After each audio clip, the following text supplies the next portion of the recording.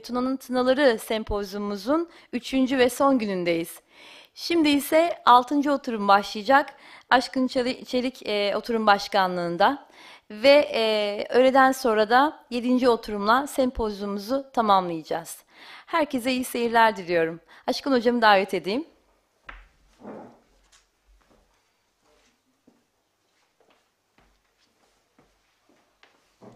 Teşekkür ederim. Ben de eee, herkese merhaba diyorum. Üçüncü Uluslararası Etnomüzikoloji Sempozyumu'nun altıncı oturumunda dört tane katılımcımız var.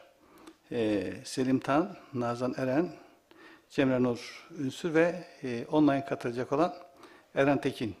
Eee, şimdi Selim Tan'ı sunumunu yapmak üzere buraya davet ediyorum. Buyurun.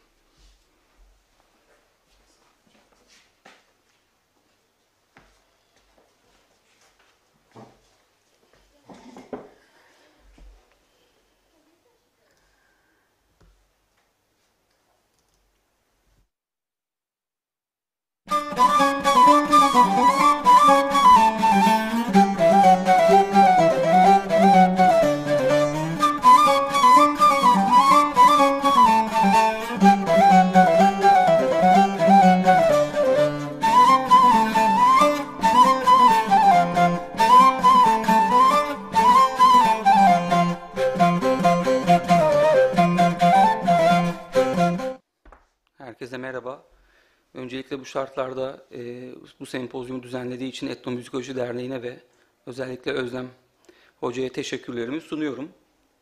Bugün anlatacağım çalışma kısaca bir Jam Session çalışması. E, Jam Session performansları Ankara'da yaklaşık 10 yıldır bir biçimde düzenli olarak gerçekleşiyor. Bu performansların arkasında ise Yüzen Oda adında bir müzik kolektifi söz konusu. Ben de yaklaşık bir yıldır bu performansları yakından takip edebildim ve bu kapsamda bir alan çalışması gerçekleştirdim.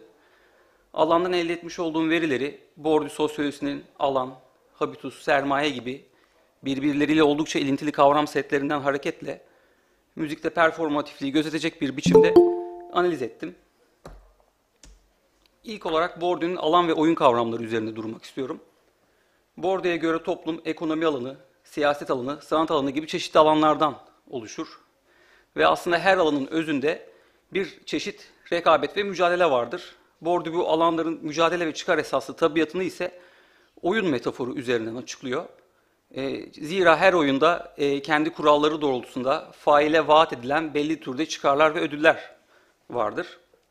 Bu çıkar ve ödül meselesini Bourdieu illüzyo üzerinden somutluyor.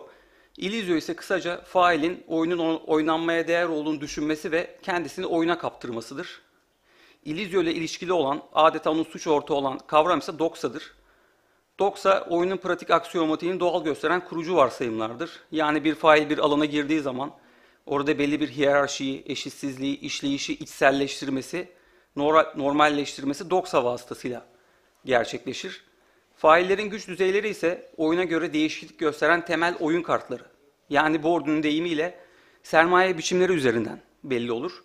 Ve Bourdieu sosyolojisinin temelde dört sermaye biçimi vardır. Bunları çok kısaca değineceğim şimdi. Ekonomik sermaye e, maddi birikim, maddi kazanç, maddi getiri ifade eder. Kültürel sermaye kısaca bilgi sermayesidir. Failin gelişim süresi boyunca ailesinden veya eğitim kurumlarından elde etmiş olduğu ayrım yaratan bilme biçimlerinin tümünü ifade eder. Toplumsal sermaye ise failin harekete geçirebileceği insan ağıdır. E, network olarak ifade edebiliriz kısaca. Simgesel sermaye ise bu üç sermaye biçiminin az önce değinmiş olduğum psikolojik bir bileşkesi aslında. Daha çok itibar ve e, prestij gibi yan alanları var. Habitus, faillerin içselleştirilmiş pratiklerini, hareket etme kabiliyetlerini ve yönelimlerini açıklamaya çalışıyor. E, bir tanım yapmak gerekirse daha çok bedende, bedende cisimleşmiş olan alışkanlıklar ve yatkınlıklar dizisine gönderme yapar. Ve aslında alan ile beraber anlaşılabilen, alan ile çekişmeli bir mahiyet arz eder. Şimdi müzikte performatiflik üzerinden durmak istiyorum. Aslında bu ilk maddede görmüş olduğumuz formül, e, Bourdieu'nun dil sosyolojisinden hareketle dilsel habitus artı dilsel piyasa eşittir dilsel ifade söylem biçimindeydi. Ben bunu müziksel alanın ihtiyaçları doğrultusunda performatiflik üzerinden yeniden ele almaya gayret ettim. Tabii performatiflik deyince akla Judith Butler geliyor. E, Butler'ın e, performatiflik anlayışı aslında burası da oldukça uyumlu olsa da ben daha çok Bourdieu üzerinden meseleyi kavramaya çalışacağım. Performatif habitus, müzisyenin belli bir müzik pratiğini içselleştirmesiyle icrasında yani bedeninde somutlaşmış olan alışkanlıkları ve yatkınlıkları ifade ediyor. E, aslında müzisyenler bunun genellikle farkında. Tam da bu nedenle işte vokalistler böyledir, gitaristler böyledir gibi kalıp yargı içeren ifadelerde bulunabiliyorlar. Performatif piyasa ise performansın gerçekleşmiş olduğu bağlamın hususi ve hususi ihtiyaç ve taleplerin müzik üzerine uygulamış olduğu bir tazliği, bir basıncı ifade ediyor. Yani müzisyenin içinde olmuş bağlamın, ortamını bir şekillendirici güç olarak işlemesi burada söz konusu. Bununla ilintili olarak her dışa vurumsal ifade alanın işleyiş yapısı doğrultusunda süzgeçten geçerek kısmi veya bütünlüklü bir sansürü de beraberinde getiriyor. Bu kısmi sansür meselesi doğrudan örtmece, diğer adıyla öfemizmle ilişkili. Ee, örtmece bir failin alanın tabiatını göz önüne alınarak söylemeyi yani icra etmeyi düşündüğü şeyi uygun hale getirmesi. Ee, Bourdieu'ya göre konuşmak biçim vermektir. Müziksel alan özelinde baktığımız zaman ise icra etmek biçim vermektir diyebiliriz. Bu formülü ben bir örnek üzerinden daha iyi algılayabileceğimizi düşünüyorum. Örneğin e, caz performatif habitusuna sahip bir gitaristi düğün bağlamında düşünelim. Bu düğünün kendine özgü bir performatif piyasası, talebi, müzisyen üzerine uygulamış olduğu bir taziki ve basıncı söz konusu muhtemelen olacaktır.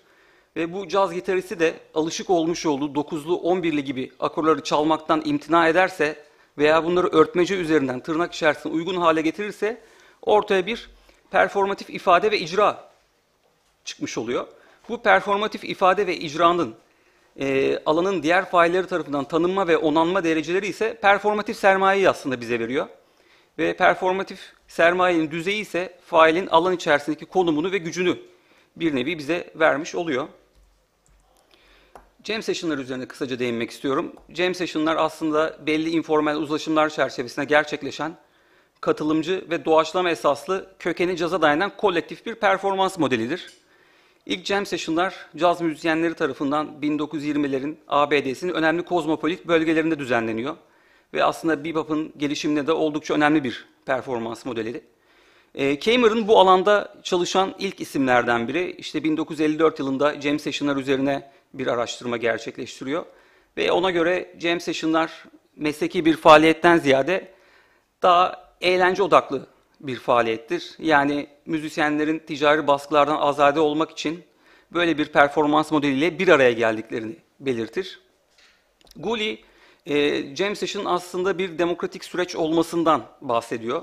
Ve Jam Session performanslarında ötekinin sesini dinleme, tepki verme gibi edimlerin sıklıkla e, uygulandığını belirtiyor.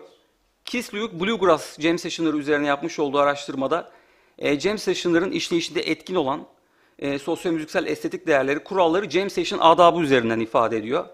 Tabii bu adab meselesi aslında bir önceki slaytta değinmiş olduğum performatif piyasayla son derece ilişkili. Çünkü her adab belli bir ortam üzerinden işleyerek belli bir örtmeceyi yani kısmi sansürü beraberinde getiriyor. Bizler de o adaba uygun biçimde kendi davranışlarımızı, pratiklerimizi güncellemiş oluyoruz, uygun hale getirmiş oluyoruz.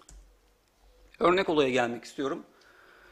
Yüzen Oda kökleri 2010'lu yıllara dayanan, benzer kaygı ve hedefleri barındıran müzisyenlerin bir araya gelmesiyle oluşturmuş oldukları bir kolektif. Bu müzik kolektifinde gitar, bas gitar, trompet, saksafon gibi çalgı icracıları yer alıyor. Ve Ankara'da Noxus, Alerta, Haymatlos mekan gibi mekanlarda bu jam session'ların gerçekleşmesine uzun bir zamandır öncülük ediyor. Haymatlos mekan ise 2017 yılından itibaren Ankara'da Konur Sokaklarına, Konur Sokak'ta faaliyetlerine başlamış bir mekan. Ve burada jam session geceleri her hafta pazartesi günü saat 21.21'de düzenleniyordu. Ee, ben de bu çalışmada Yüzen Odalı Haymatlos Mekan jam sessionlarını bir mikrokozmos performans alanı olarak ele alıyorum. Çünkü bu mikrokozmos performans alanı kendine özgü yasalarla donanmış ve belli bir özellik derecesini ihtiva ediyor. Dolayısıyla çalışmanın başına değinmiş olduğum alana ve oyuna ilişkin özelliklerin burada görülebileceğini düşünüyorum. Şimdi burada etkinliğe ilişkin afişler söz konusu. Burada ilk dikkatimi çeken benim bu oyun kurucu fail olarak nitelendirdiğim yüzün odanın burada isminin belirtilmemesi. Dolayısıyla bir seyirci veya konuk müzisyen ancak etkinliğe katıldığı zaman süreç içerisinde bunu deneyimleyebiliyor. Diğer bir unsur ise batılı çalgıların fazla olması ve daha çok caza, kökene ilişkin bir temsiliyet düzeyinde göndermenin olması. Bu önemli çünkü e, bu jam session'larda herhangi bir tür, üslup, çalgı yönünde bir kısıtlama, sınırlama söz konusu değil. İlk olarak oyunun sessel dünyası üzerinde durmak istiyorum. E, açılışı bir kere performansın kolektif üyeleri yapıyor ve bu sayede de aslında e, bir sözel olmayan iletişim vasıtasıyla hakim müziksel anlayışı ortaya koymuş oluyorlar. E, ben kendi alan çalışmam e, süresi boyunca santur, didgeridoo, kaval, bendir gibi çalgıların bu performans alanında var olabildiğini gördüm. Tabii bu farklı katılım biçimlerine bağlı olarak da bir müziksel akış söz konusu oluyor ve buna bağlı olarak da tınısallık sürekli bir devinim halinde. Ancak yine de bir biçimde fusion tınıları bu performans alanı içerisinde yoğun bir şekilde işitilebiliyor. E, buna ilişkin konuk müzisyen Eylem Atalay e, benzer bir biçimde düşünüyor. O da müziği fusion olarak nitelendiriyor. E, kolektif üyesi Karacan ise bu hakim tınının fusionla ilişkili olmasını daha çok oturtuma ilişkin müziksel araç gereç, gereçlerden kaynaklandığını belirtiyor. Çünkü sahnede bir gitar var diyor, pedal board var diyor. Sahneye müzisyen çıktığı zaman bu araç ve gereçleri kullandığı için sound 3 aşağı 5 yukarı aynı kaldığını belirtiyor. Ve Fusion'ın da aslında jam session uygun bir müzik türü olduğunu da ekliyor. Burada performans alanından çok kısa bir kesit dinletmek istiyorum.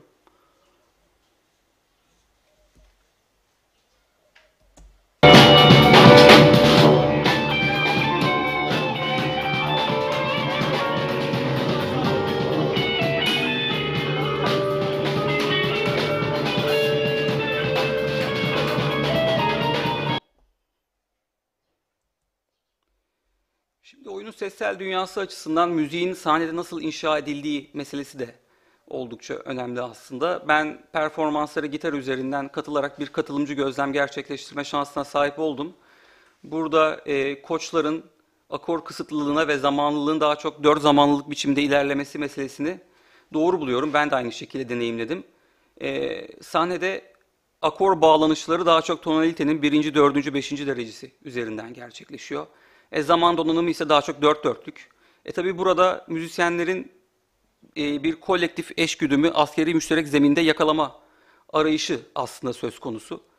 E, kolektif üyesi Canberk Hacıbaloğlu sahnede eş zamanlı bir A bölümü yarattıktan sonra yine eş zamanlı bir B bölümüne geçmenin, buradan tekrar A'ya dönmenin zorluklarını belirtiyor.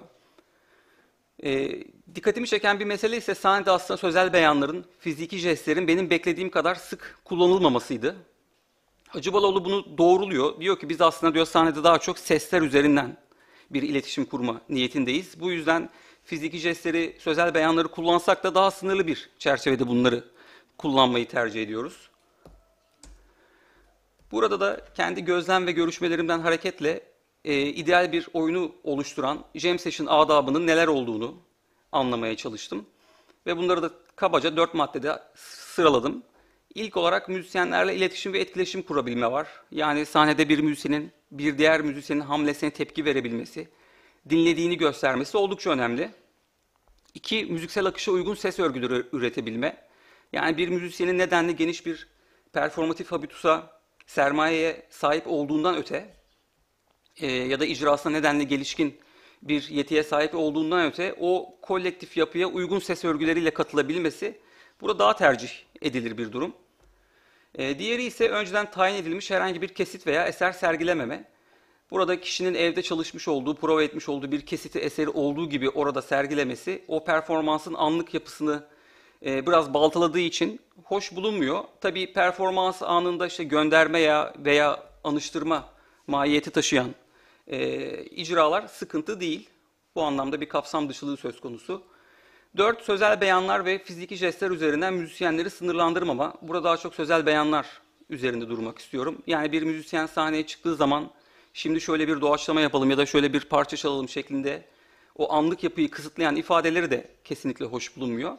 Kısaca ben bunların hepsini aslında aktif dinleme yetisi üzerinden e, ele alınabileceğini düşünüyorum. Müzisyenler de zaten görüşmelerde sürekli müziğin dinlenmesi gerektiğine dem vuruyorlar.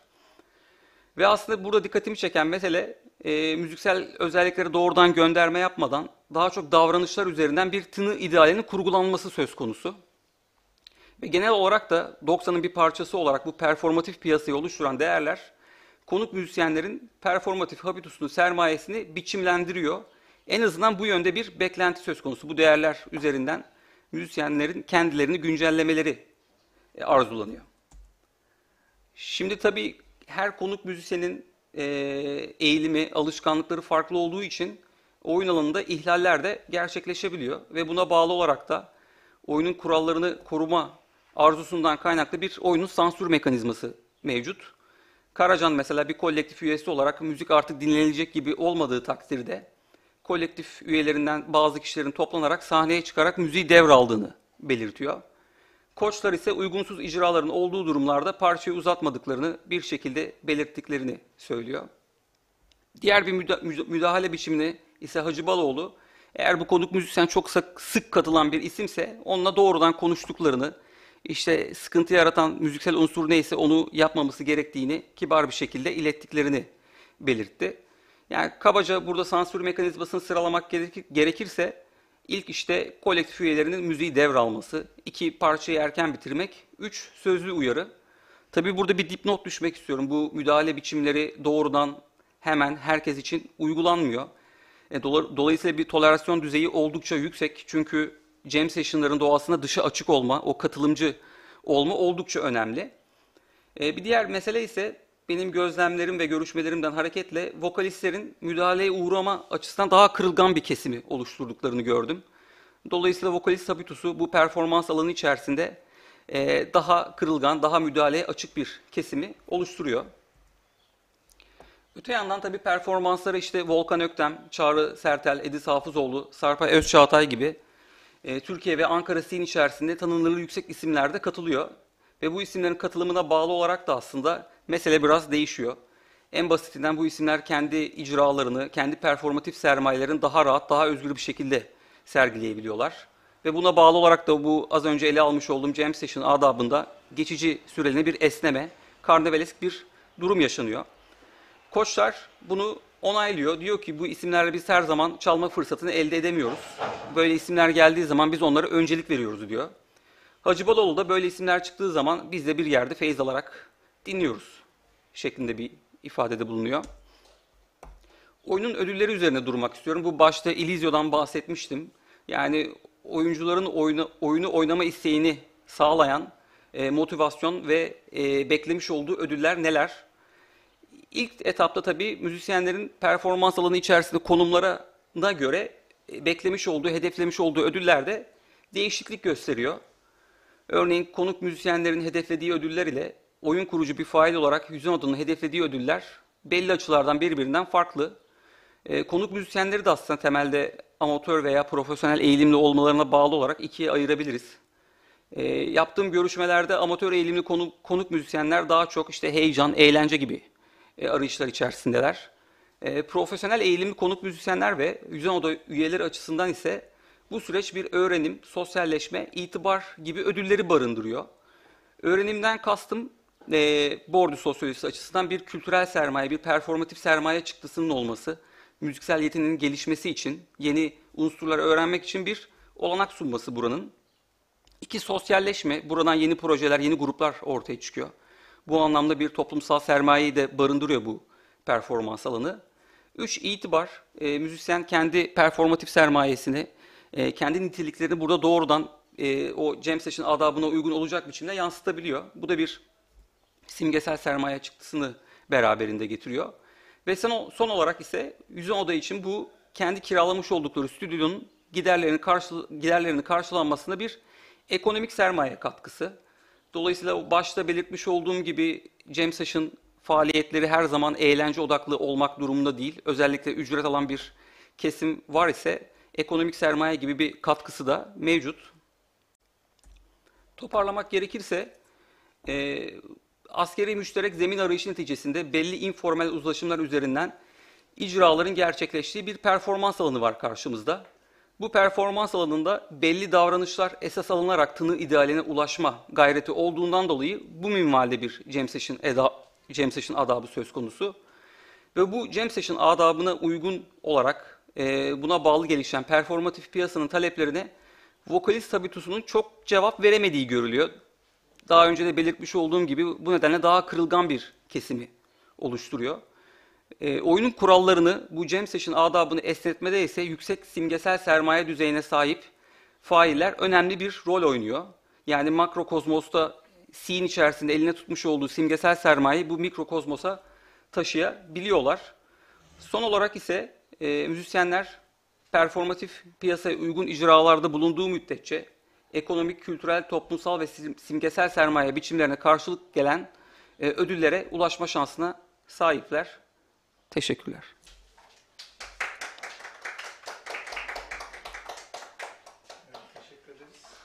Selim Tan kardeşimize eee, sunumu için.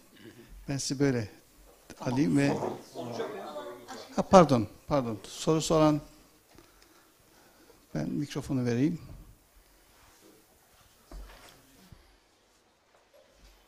Teşekkürler Selim. Aslında çok soru var ama top, toparlayayım. Ee, Jam Session adabını anlamadım. Yani Hı hı. onun gavurcası mesela Jam Session Rules mu? James Session etiket Kislyuk o şekilde almış. Okey, Peki. e, onu bir anlayayım. İkincisi uygunsuz icrayı anlamadım. Hı hı. Bir de e, bu uyarılardaki vokalistlerin kırılganlığı meselesini anlamadım. Hı hı. E, James Session adabını hocam e, Kislyuk makalesinde Bluegrass üzerine yapmış olduğum makalede daha informal uzlaşımlar müzisyenin zaman içerisinde özellikle o oyun kurucu müzisyenlerin oluşturmuş olduğu tırnak içerisinde kurallar olarak ele alıyor. Yani Jam Session yapanlar tarafından böyle aslında bir dizge yok. Yani şöyle hocam mesela o Bluegrass Jam Session'larda solo ölçüleri belirlenmişti mesela 8 ölçülük. Ama mesela burada öyle bir adap söz konusu değil mesela. Yani her jam session'da e, türüne bağlı, oradaki kişilere bağlı olarak kurallar değişebiliyor. Elbet onu diyorum yani Hı hı. 50'lerde böyle bir şey Tabii, yok söz tabii, gelelim. doğru. Free jazz'da öyle bir şey yok. Hı hı. Asla gülerler adama çünkü. Doğru. O yüzden şu adap meselesini tam anlamadım. Hı hı. Uygunsuz icra ne?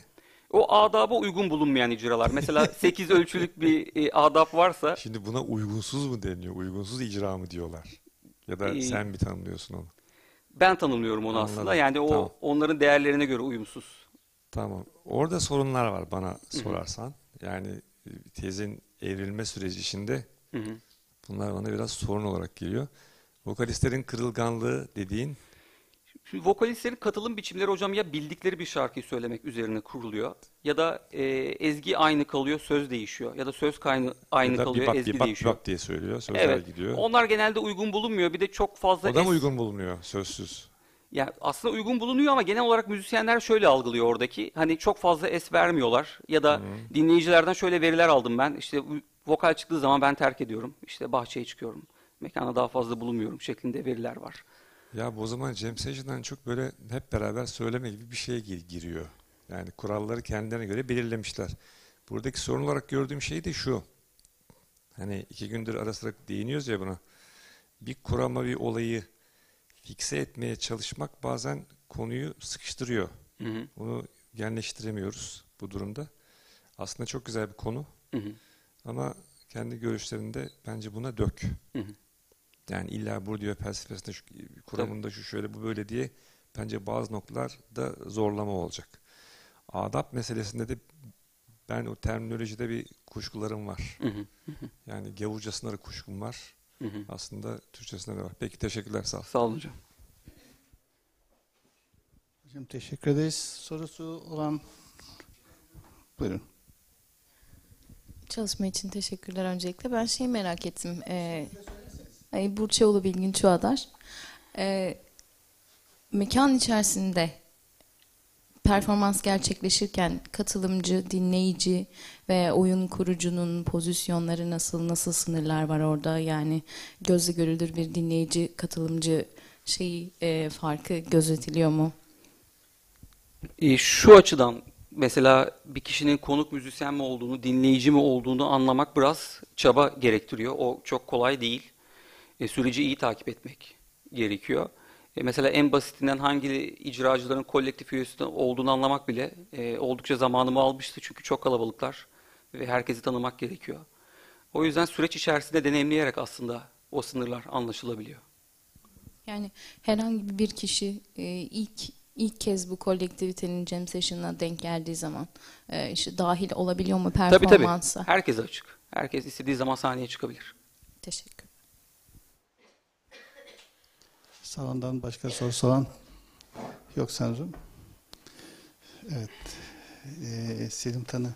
Şurayım. Öncelikle ee, bir performans alanı olarak ee, alanı alanınızı deki sunumdan seni tebrik ediyoruz. Teşekkür ediyoruz ve senin belgeni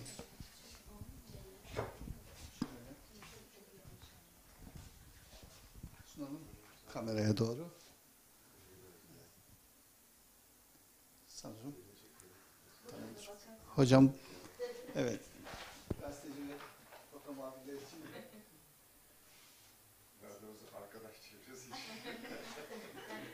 Ama nitelikli izleyici olması, e, sayının bir ya da bin olması için önemli. Teşekkürler. Sağ olun. Biz bizlerin ötesinde sizin e, katkınız, sizin söylemleriniz çok değerli elbette. Önemli olan o. Ben teşekkür ederim.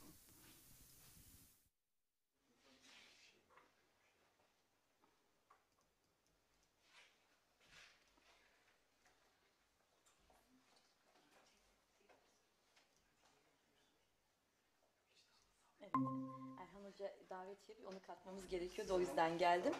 Tamam, şu an yine şey paylaşılıyor. Erhan Hocam siz mikrofonunuzu kısın ya da ben buradan kapatayım. Heh, kapattım ben mikrofonunuzu. Sonra açacağız hocam. Teşekkür ediyorum. Tamam, şimdi e, Buradan değil mi? buradan siz, siz çağırın hocam.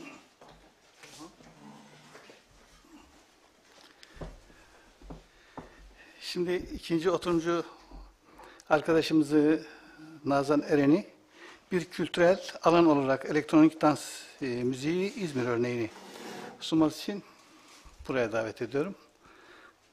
Aslında sunarken de alkışlayabiliriz hocam diye düşünüyorum. Değil mi?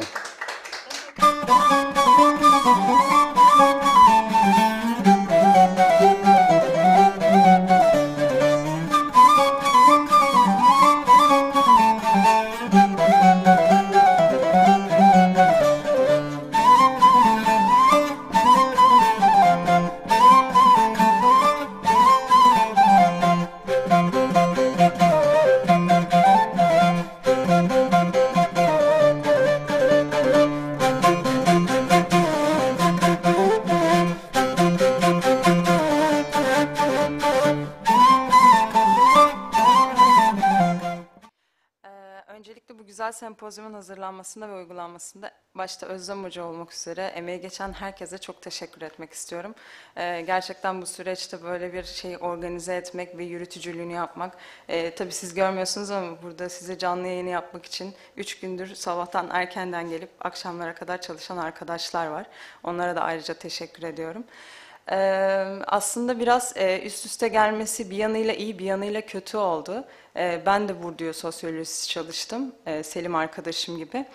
Ee, bir yanıyla iyi oldu, çok fazla detaya girmeme gerek kalmayacak. Bir yanıyla da tabii kötü oldu, size e, böyle ikinci bir baskı gibi olacak ama e, olabildiğince... E, belki Selim'in kaçırdığını düşündüğüm yerleri ya da işte benim e, alan çalışmamla ilgili olan detaylı kısımları e, anlatmaya çalışacağım. E, benim sunumumu yapacağım konu benim aslında yüksek lisans tez konumdu. E, dolayısıyla aslında çok uzun bir konu e, ve kısaltmak, 20 dakikaya sığdırmak çok zor. E, ben daha çok e, Bourdieu'yu araştırma yöntemi olarak ele aldım e, yöntemim açısından Bourdieu'yu kullandım. Alanı tanımlamak değil de e, bu bilimsel bilgiyi elde ederken nelere dikkat etmek gerektiği, neler üzerinde durulması ile ilgili olarak ele aldım. E, şöyle hemen başlayalım. E, şunu özellikle belirtmek isterim. Araştırmaya başlarken e, test konusuna karar verdiğimde, elektronik müzik üzerine çalışmaya karar verdiğimde tabii ki hem okuduğum makalelerden hem de teorik çalışmalarımdan kafamda bir teorik çerçeve vardı. Ve alana çıktığımda da bu çerçeveyi işte bulacağım. Yani alan benim için bu teorik çerçevenin işte örnek bir unsuru olacaktı. Çok da e, işte her sosyal bilimcinin yaptığı hata az önce Fırat Hoca'nın da biraz eleştirdiği e, alana çıkmadan ya alanı teoriye sıkıştırma meselesinde her zaman e, belli sıkıntılar ortaya çıkıyor. E, Bourdieu bunu bu şekilde açıklıyor. Amp- Ampirik araştırmadan yoksun teori boş, teoriden yoksun araştırma kördür. E, Çünkü yalnızca teorik yapılmış bir araştırma, alandan bağımsız, alana çıkılmadan, alanla e, ilişkisel bir bağı olmadan yapılmış bir çalışma aslında boş bir çalışma olur. Sadece teorinin teoriyi kendi kendine tekrar yenilemesinden ibaret olur. Yani anlatılan hikayeyi yeniden, kendi hikayeni yeniden anlatmaya benzer. E, teoriden yoksun ampirik araştırma kördür. Esasen bazen e, alan çalışmacılarının yaptığı büyük hatalardan biri de bu oluyor. Sanki bizde hiçbir teorik çerçeve yokmuş da alana hiçbir şey, hiçbir gözlüğümüz olmadan bakıyormuşuz gibi davranıyorlar. Ama e, davranıyoruz. Belki ben de bunun içine dair hepimiz gibi. Ee, ama alana çıktığında işte hala hazırda edindiğin tedrisat, işte o eğitim süreci, bir sürü okuduğun şeyler e, seninle birlikte geliyor. Onları dışarıda bırakmana çok da imkan yok. Ee, belki burada bu e, teori ve metodoloji ayrımını eleştirmek gerekir ki bence Bourdieu'nun sosyolojisini bugün bu kadar popüler hale getiren ve gerekli kılan en önemli şeylerden biri bu. Bu ikili anlayışı aşma meselesi. E, çünkü ona göre bu ikili anlayışla yapılan her çalışma her zaman bu eksikliği yani işte e, ampirik araştırmasız bir teoriyi ya da teorisiz bir ampirik araştırmayı e, sıkıntılı bir araştırma sürecine sokacaktır. E, bu ikilikleri neden aşmak gerekir? İkili anlayış nedir diye kısaca bahsetmek istersem. E, slaytta da gördüğünüz gibi bunu, buna bir sürü karşıtlık et, ekleyebiliriz. Yani insanın e, anlama biçimi, daha doğrusu hepimizin anlama biçimi bir şekilde karşıtlıklar üzerinden gerçekleşiyor. Anlamayı e, karşısına bir şey koymadan yapabilmek, e, tanımlamayı bunun karşısına bir şey koymadan yapabilmek çok zor. Ee, bu anlamda tezin aslında esas şeyini oluşturan, e, kemiğini oluşturan ayrım meselesine de belki belki değil ileride değineceğim. Ee, bu ikilikler arasında özellikle öznelcilik ve nesnelcilik üzerinde durmak istiyorum. Çünkü bilimsel bilgi etme, e, elde etme iddiasının temelini oluşturan önemli şeylerden biri bu. Öznelcilik ve nesnelcilik iddiası. Ee, Bourdieu'ya göre sosyal olguların inşa içermeden nesnelleştirilebileceği, yani onların şeyler olarak ele alınabileceği fikri aslında bilginin, bilenin durumundan bağımsız var olabileceğini savunur. Ve nesneyi nesne yapan şeyi, yani inşayı göz ardı etmeye neden olur. Burada nesnelcilik aslında bilimsel bilgiyi, klasik anlayışta bilimsel bilginin iddiası, e, sanki az önce de dediğim gibi alana çıktığımızda sahip olduğumuz o tedrisattan yoksun, o gözlüklerden yoksunmuşuz gibi alanda kendiliğinden var olan bir bilginin e, olduğu iddiasını taşır nesnellik. E, ama öte yandan sosyal olguların faillerin eylemlerine indirgendiği durumda da bilginin bilenin ürünü olduğu fikri sosyal bilimleri sosyal özneler tarafından çıkarılan özetin özetini çıkarmaktan ibaret hale getirir. Yani kısacası sosyal bilimlerdeki bu karşıtlık sosyal bilimciyi yalnızca teorinin teorisini yapmaya sevk eder. Oysa akıldan çıkarılmaması gereken şey gözlemlerin her zaman teoriler, teorilerin de gözlemler tarafından üst belirlendiğidir. Tabii klasik bilim anlayışı içerisinde bu tarz bir söylem aslında bilimsel bilginin bilimselliğine gölge düşürücü nitelik taşır. Çünkü halihazırda e, sosyal olayları inşa ediyorsak, şimdi ele e, geçireceğimiz şey bu olacak, ele geçiriyorsak, inşa ediyorsak ve betimliyorsak, e, böyle bir bilgi nasıl ne, e, bilimsel bilgi olma niteliği taşır diye bir soruyla karşılaşıyoruz. Ama Bourdieu bunu bu şekilde açıklıyor. Üst belirlenim bilimsel bilgiyi bilimsel bilgi olmaktan çıkarmaz. Çünkü onu bilimsel bilgi yapan şey sosyal gerçeklik içinde hazır bulunan, e, hala hazırda var olan bir nesnellik yok.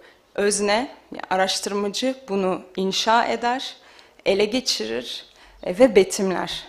E, tabii böyle bir tanımlama şeyi hemen e, o nesnel fen bilimcilerini belki ayağa kaldıracak da bir şey.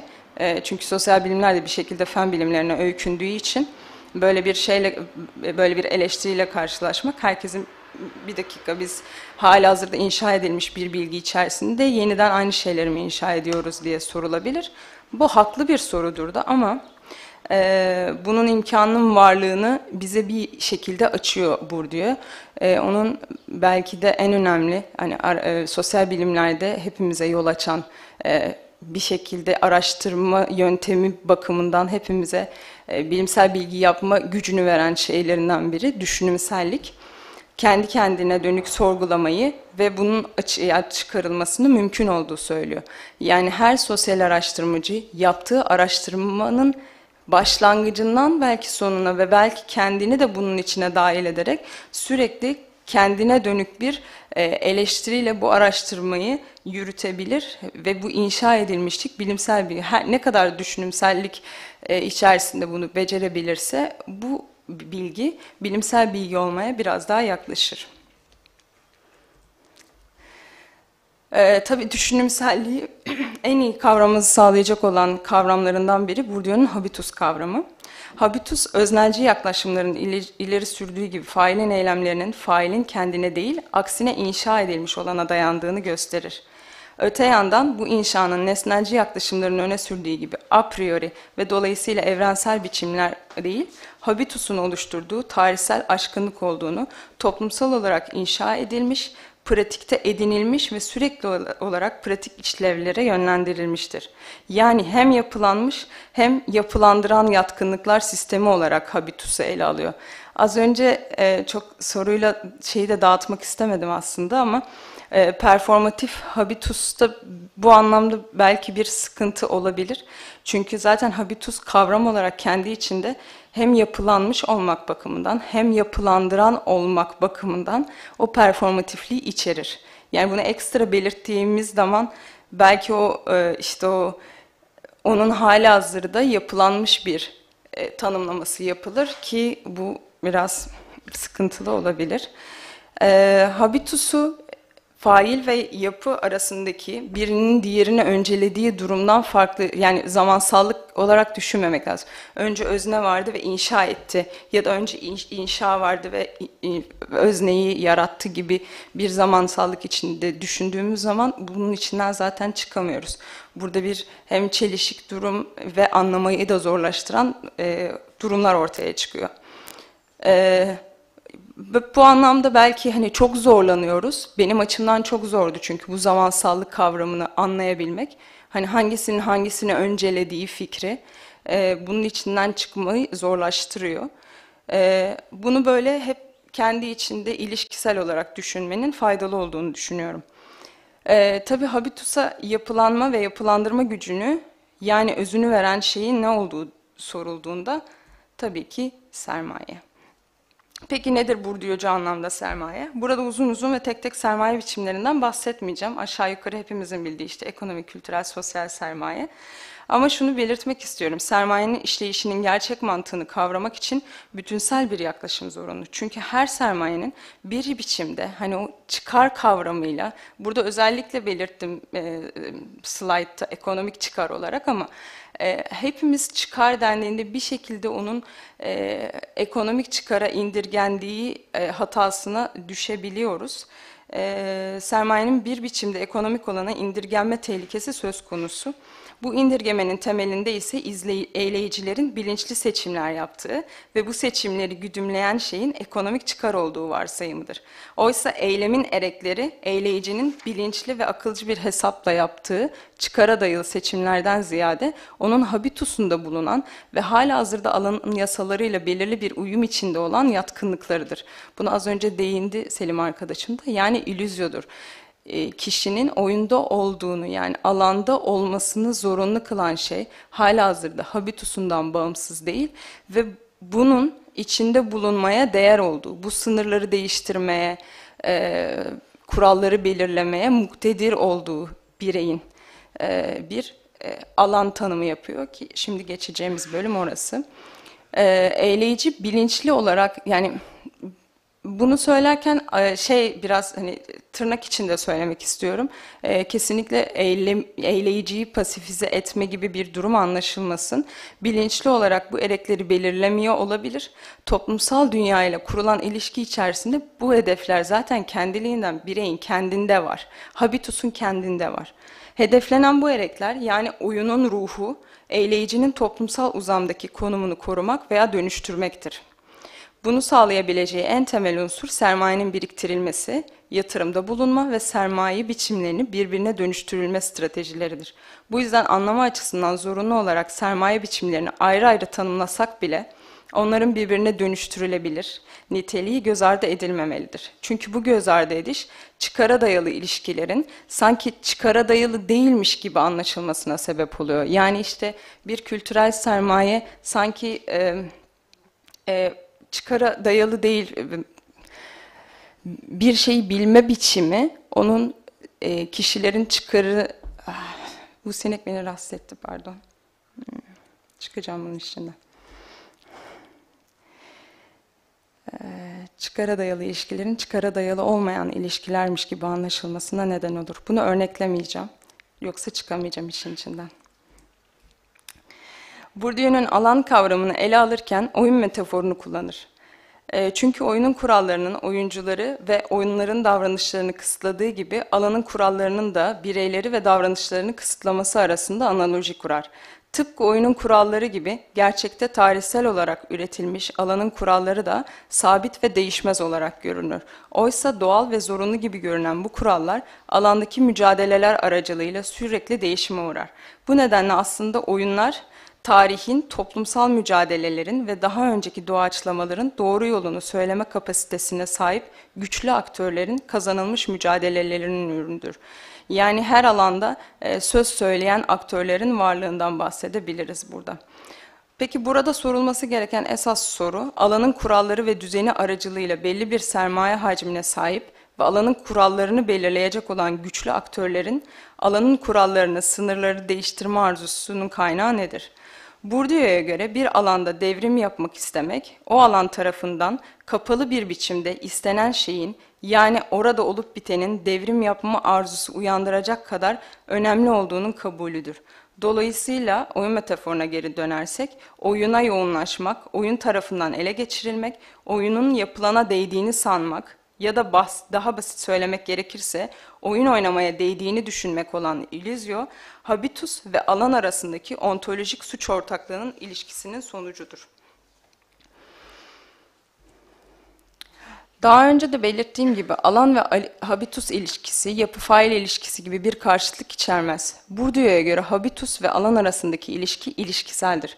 Çünkü alan yapılaşmış bir konumlar uzamı olarak kendine has yatkınlıklar aracılığıyla alana dahil olmak isteyenlere dayatılan bir güç olmasının yanı sıra aynı zamanda eyleyicilerin sahip olduğu sermaye biçimlerini korumaya ve değiştirmeye çalıştıkları bir mücadele yeridir.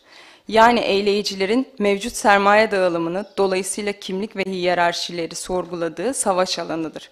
Bu nedenle alanın belirli konumlarını, yatkınlıklarına rağmen bu mücadelelerin sürdürülüyor oluşu onun katı, sınırları belli bir yapı olmaktan ziyade tarihsel olarak inşa edilen esnek ve dinamik bir yapı olarak tanımlanmasını sağlar ki bu sayede Bourdieu'nun aslında habitus kavramının o kadar pasif bir kavram yani eyleyiciden, özneyi özne olmaktan çıkaran bir kavram olmadığını anlıyoruz.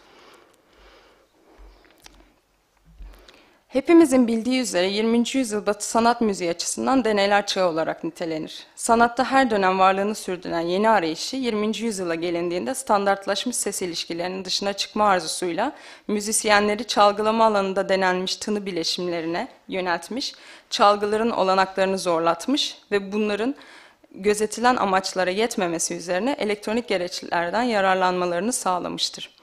Tezimin ikinci bölümü aslında tamamen tarihsel olarak müzik anlayışındaki değişimleri ve enstrüman icatlarını ele alan bir bölüm. Ama burada maalesef bahsedemeyeceğim bundan. Ee, ama kısaca şöyle değinebilirim. 20. yüzyıl Batı sanat müziğine yön veren elektronik müzik, gül, gürültücülük, atonalite, dizisellik, rastlamsal müzik gibi avantgard üslupların temelinde kurallarının belirlendiği ve özerk bir alan olarak kabul gören Batı sanat müziğine baş, başkaldırı fikri yatmaktadır. Dolayısıyla alanın özerkliğini belirleyen bu kuralları dönüştürme mücadelesi veren, yani kurallardan arınmış bir müzik yapma ideali taşıyan 20. yüzyıl Batı sanat müziği bestecileri, ezgi, ritim, armoni, uyum, formi gibi tüm geleneksel unsurları yeniden ele almışlardır.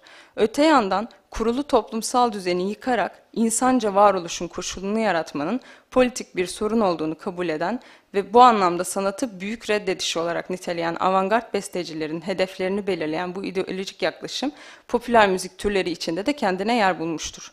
60 sonrası popüler müzikte etkisini gösteren bu politik tutum, yani var olan hiyerarşik toplumsal düzenin sanatsal üretim aracılığıyla yeniden inşasını bozguna uğratma, art rock hareketiyle belir- belirginlik kazanır.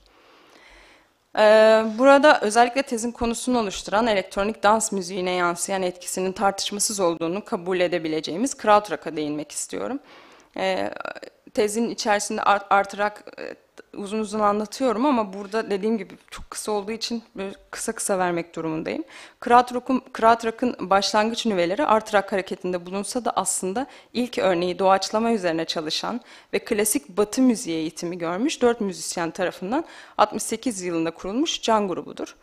Grubu dönemin birçok deneysel grubundan ayıran şey, rock müziğin arka plan ritmiyle pop ve caz arasında füzyon tarzı geliştirme arzusu olmuştur. Grubun encilik ettiği bu fikirler kısa zamanda diğer Alman grupları tarafından takip edilmeye başlanmıştır.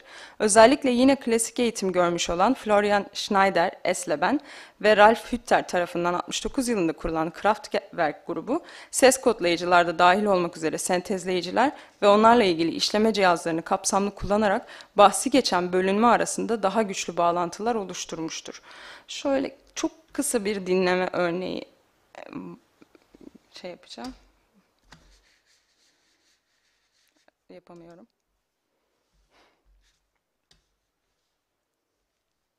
Mouse'u görüyor musunuz? Ben göremiyorum çünkü. Burada görünmüyor çünkü mouse. Hayır mouse görünmüyor şeyde. Siz görüyorsanız tarif.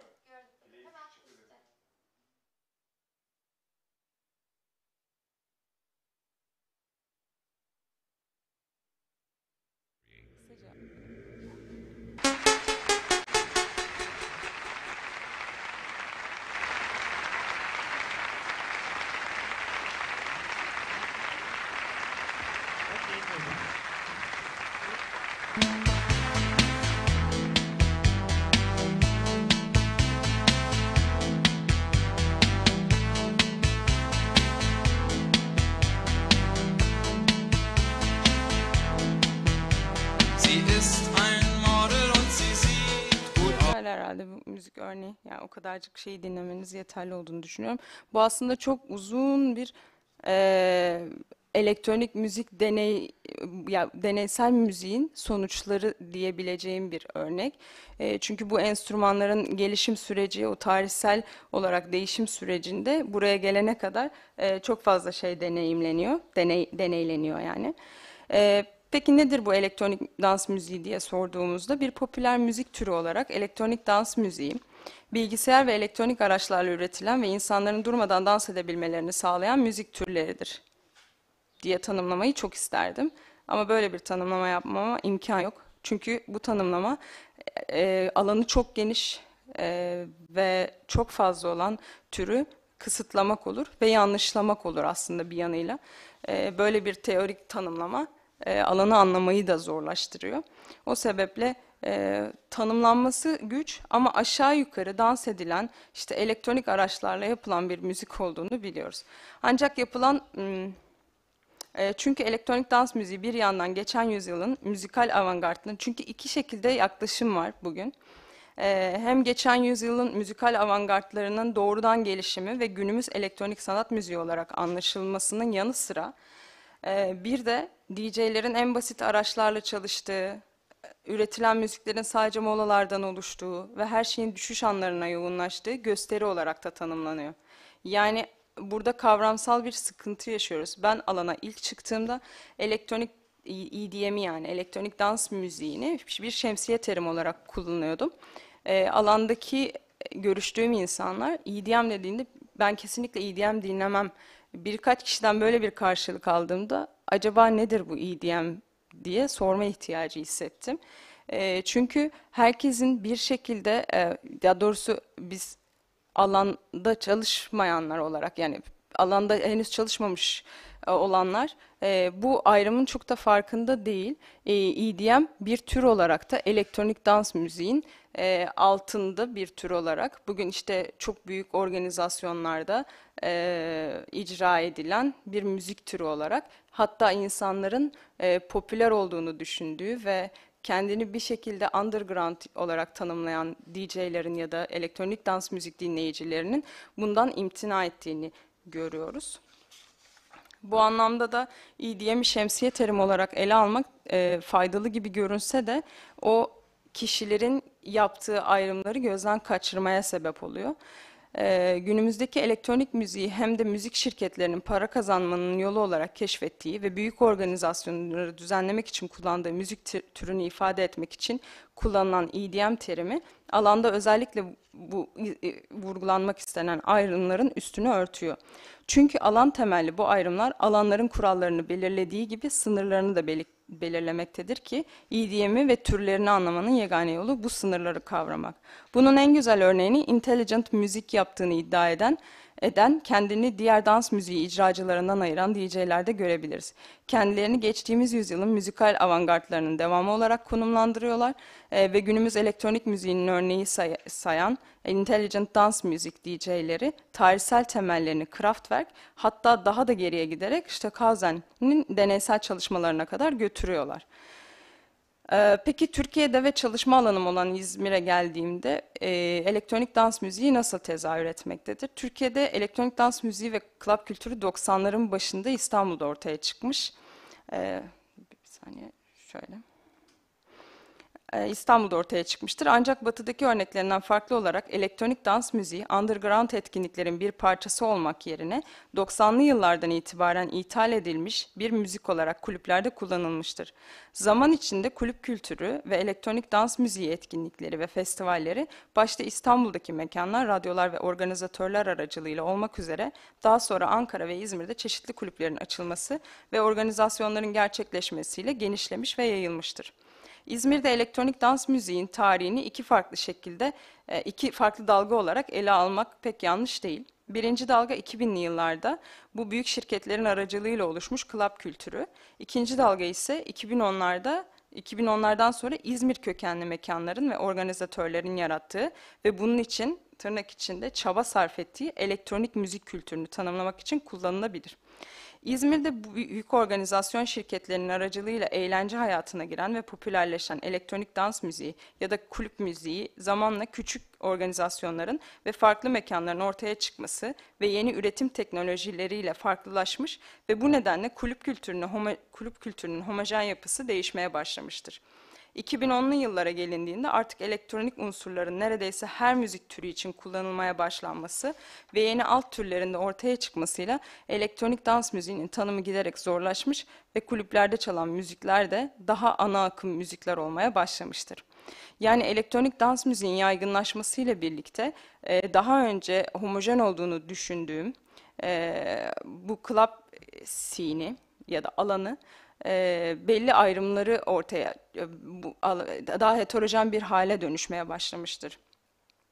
Peki benim konumu oluşturan şey, yani tezimi oluşturan e, şey neydi? Alana çıktığımda hiç de öyle teoride okuduğum gibi işte içine alan, e, belki az önce Selim'in de Jam Session'da bahsettiği gibi hani e, alana yeni girenin e, katılabildiği e, bir e, alan gibi tanımlansa da teoride jam session'larda öyleymiş. Ben de elektronik dans müziği icralarının yani elektrik elektronik dans müziği yapılan or- e, organizasyonların etkinliklerin içine girdiğimde kendimi orada e, işte içine alan, saran bir şey gibi bekledim, bir alan gibi bekledim. Ancak bu öyle gerçekleşmedi. Çünkü onun da kendi belli kuralları ve sınırları var. Bilmeniz gereken, o alana dair e, sahip olmanız gereken bir kültürel sermaye biçimleri var. Para, yani ekonomik sermaye, kültürel sermaye ve sosyal sermaye. Çünkü tanıdıklarınızın da olması gerekiyor. Böyle organizasyonlara gitmek için. E, bir yani kültürel alan olarak varlığını koruyor. E, sadece bitiriyorum hocam. Son sonuca geldim zaten.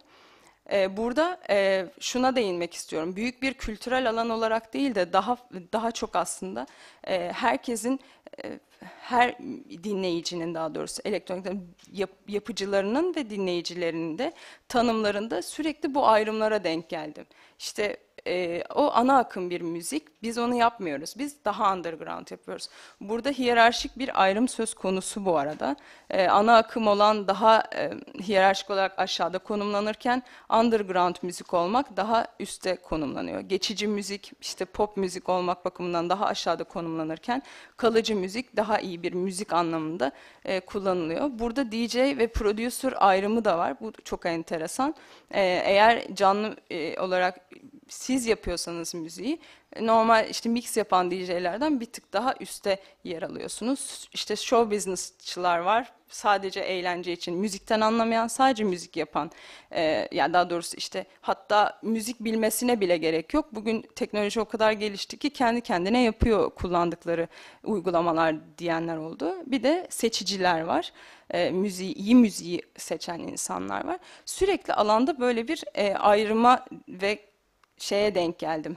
Ee, tanımlamaya, alanı tanımlamaya çalışıyor tüm üyeleri. Bourdieu'ya göre nesnel konumların yapısı, bitiriyorum bu arada, nesnel konumların yapısı başka şeylerin yanı sıra bir konumdakilerin diğer konumdakilere olası bakışlarının temel ilkesidir. Ve her grubun güç ve biçimini, o grubun kendi hakikatini, gruplar arasındaki nesnel ilişkilerin hakikati olarak görme ve yansıtma eğilimi doğrultusunda belirler. Kültürel bir alan olarak elektronik dans müziğin sınırlarının muğlaklığı, onu sürekli yeniden kurmayı, tanımlamayı zorunlu kılmaktadır. Bu tanımlamalar Bourdieu'nun de belirttiği gibi zorunlu karşıtlığı, ayrımı yaratır. Özellikle söylediğim gibi benim çalıştığım alanda bu şekilde ayrımlar karşıma çıktı. Sonuç olarak da elektronik dans müziği sabit sınırları belirli bir kültürel alan olmadığı gibi sınırları için mücadelenin devam ettiği ve görece özerk alanlar olarak varlığını sürdürmektedir. Beni dinlediğiniz için teşekkür ederim. Bu kadar. Sorusu olan varsa almak isterim. Çok da sevinirim. Tamam, sanırım ses geliyor. Salondan sorusu olan var mı? Önce hanımefendiye vereyim. Seni göremiyorum ama bakacağım. Çalışma için teşekkürler öncelikle. Ee, ben şeyi merak ettim.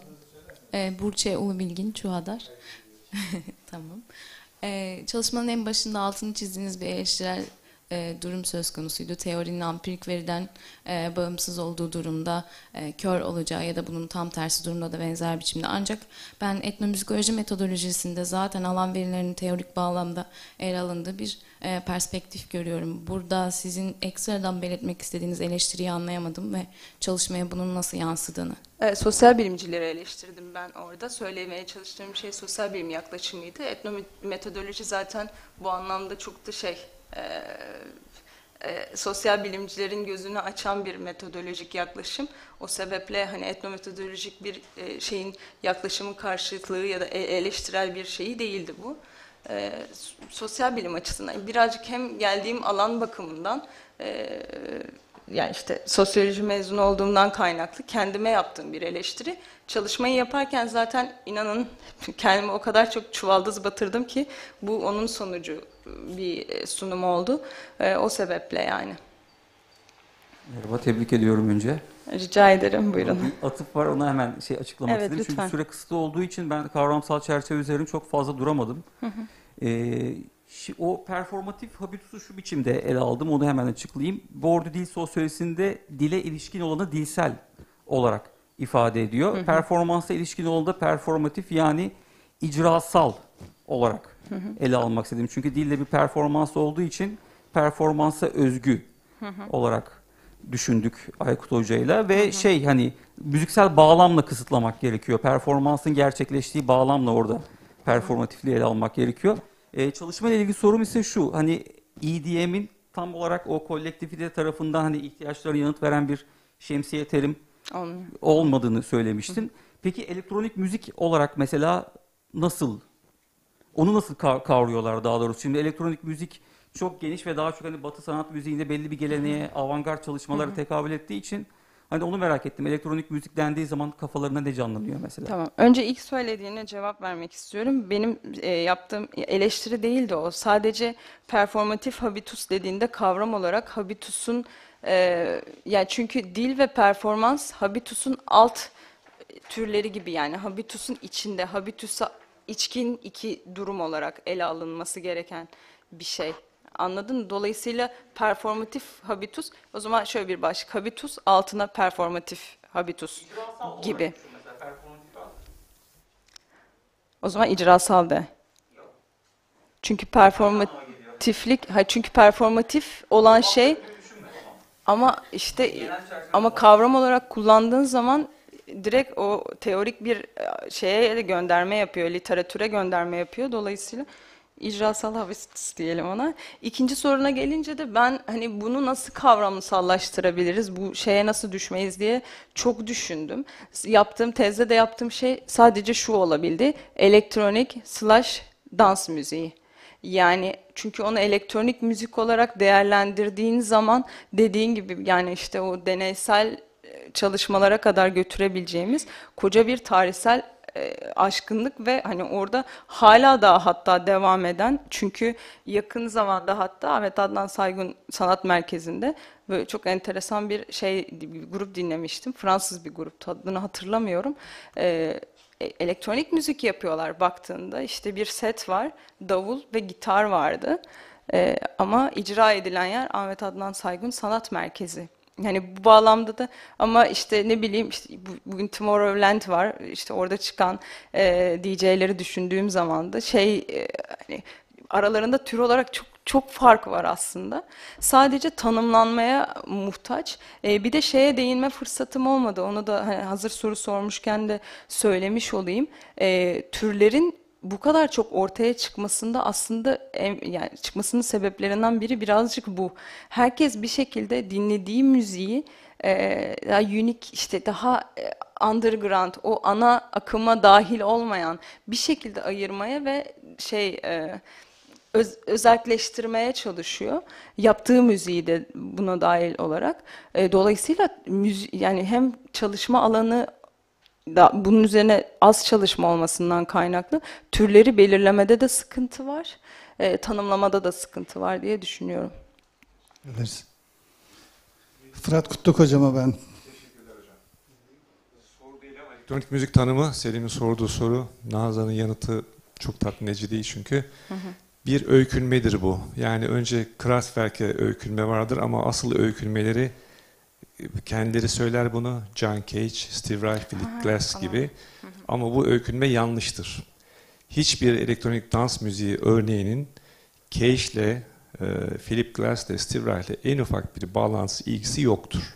Bu çok ciddi bir öykünmedir. Yaptıkları işin ciddi bir şey olduğunu anlatmak ve popülerden daha uzak olduğunu tanımlamak için. Ama işte fen bilimciler bize bu yüzden gülüyor. Umurumuzda mı? Değil. Hani sen dedin ya demin Selim'le tartışırken istedikleri kadar görsünler. Sorun şu. e, Bir grup, bir alt kültür, bir icracı grubu vesaire nasıl tanımlarsanız tanımlayın. Kendi yaptıkları müziği bir şekilde tanımlarsa ona uyacağız. Yani dinleyip de klaba gidip aa sizin yaptığınız bildiğiniz 80'lerin diskosunun 2000 versiyonu diyemezsiniz. Elektronik dans müziği diyorlarsa ki bu müziğe önce club müzik diye çıktı biliyorsunuz. Sonra birdenbire EDM ortaya çıktı. Belki yarın elektronik dans club müziği eklenecek gibi gibi ama şeyle kıyaslarsanız, deneysellikle kıyaslarsanız sadece yaptıkları müziği daha değerli kılmak adına buldukları bir kılıf bu. Hiçbir bağlantısı yoktu. Değilse Cage'e de, Steve de, Philip Glass'e çok büyük ayıp etmiş oluyorlar aslında kabaca. Ama bunu metinde yazmak çok kolay değil tabi. Evet, Kendileri böyle evet. tanımlıyorsa bitmiştir olay. Yani ne diyor adam işte benim yaptığım alt tür hey, he- hair metal diyor. Yani ne alakası var diyemiyorsunuz adamlar kendileri öyle. Yener benim yaptığım rap arabesk rap diyor. Neden? Kimi beatlerde arabesk sample'lar kullanıyor. Bu kadar basittir. Ya da Orhan Gencebay'ı çok seviyorum diyor. Bitmiştir olay. Hayır senin yaptığın arabesk rap değil diyemezsin adama. Anlatabildim mi? Kendini nasıl tanımlıyorsa öyle diyeceğiz. İşte böyle bir tarihsel köken arayışı var çünkü. Evet ama işte o için. öykünmede bir dayandırma durumu var. O, o doğru değil aslında. E Ben diyemem doğru olup olmadığını tabii. de. E, değil. Yani ben elektronik müziği çok iyi araştıran, bilen vesaire bir adam olarak bunlarla karşı... Şimdi Kraftwerk ilk defa dinleyen var mı aranızda Kraftwerk? Yok Ya işte yani ne bileyim Vem, Vem'e benzetebilirsiniz değil mi? E, Belki e, Europe'un kimi e, altyapılarına benzetirsiniz vesaire. Şimdi bir Philip Glass'ın minimalizmi, Steve Reich'ın e, somut müzik tarzındaki e, kaydettiği sample'ları akustik çalgılarla harmanlaması bir Still Life örneği ya da Cage'in 24 radyoyla yaptığı rastlamsal örneklerle herhangi bir bağı var mı bu müziğin? Yok. Belli bir ritimde, belli bir alt türleri olan dansa yönelik, dans amaçlı, dans eylemli bir müzik türü bu kadar basit aslında.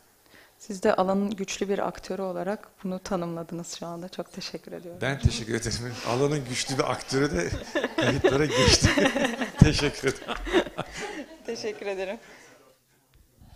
Şimdi Nazan Eren kardeşimiz alanın güçlü bir aktörü demeseydi ben benzer şeyler söyleyecektim. Yok mütevazı olmayın lütfen. Siz e, önemlisiniz. Niye önemli olduğunuzu ben e, vurgulamak istiyorum. Çünkü dokunuyorsunuz, buradasınız. Katkı sağlıyorsunuz. Yani bu yok bu bir tanesi. Yani e, izin verin o rengi de ben söyleyeyim. Onun için e, burada olmanız e, Özlem hocama ayrıca teşekkür etmek istiyorum. E, nitelik çok başka, seçicilik çok başka, e, katkı çok çok başka. Onun için herkesin e, burada bu sempozyuma inanılmaz katkısı var. Eleştirebilirsiniz ayrı ama e, eleştirmeyi yaparken üslubunuz sizin e, kalitenizi, sizin e, bulunduğunuz çizgiyi gösteriyor. Yani siz burada e, herkesle aynı seviyedeki sandalyede otururken aslında ne kadar büyük bir dağın üstünde e, konuştuğunuzu Şimdi hocam estağfurullah. Şimdi bazen bazen bazı şeyleri söylemek lazım. Bazen bazı şeyleri ekranda söylemek lazım. Herkesin duyabileceği ve görebileceği şeyde söylemek lazım. Ben senin belgeni vereyim unutmadan. Tebrik ediyorum.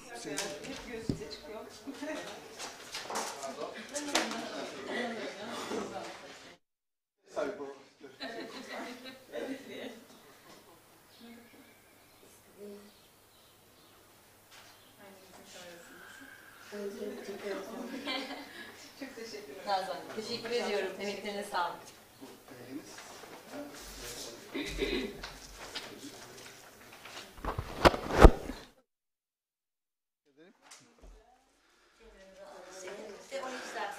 Tamam. Şimdi sunumunu yapmak üzere Cemre Nur Ünsür'ü davet ediyorum. Düşünsel modernitede kimlik inşası, Minor Empire örneği diye sunmadan önce de alkışlayalım diye düşünüyorum. Peki. Merhaba.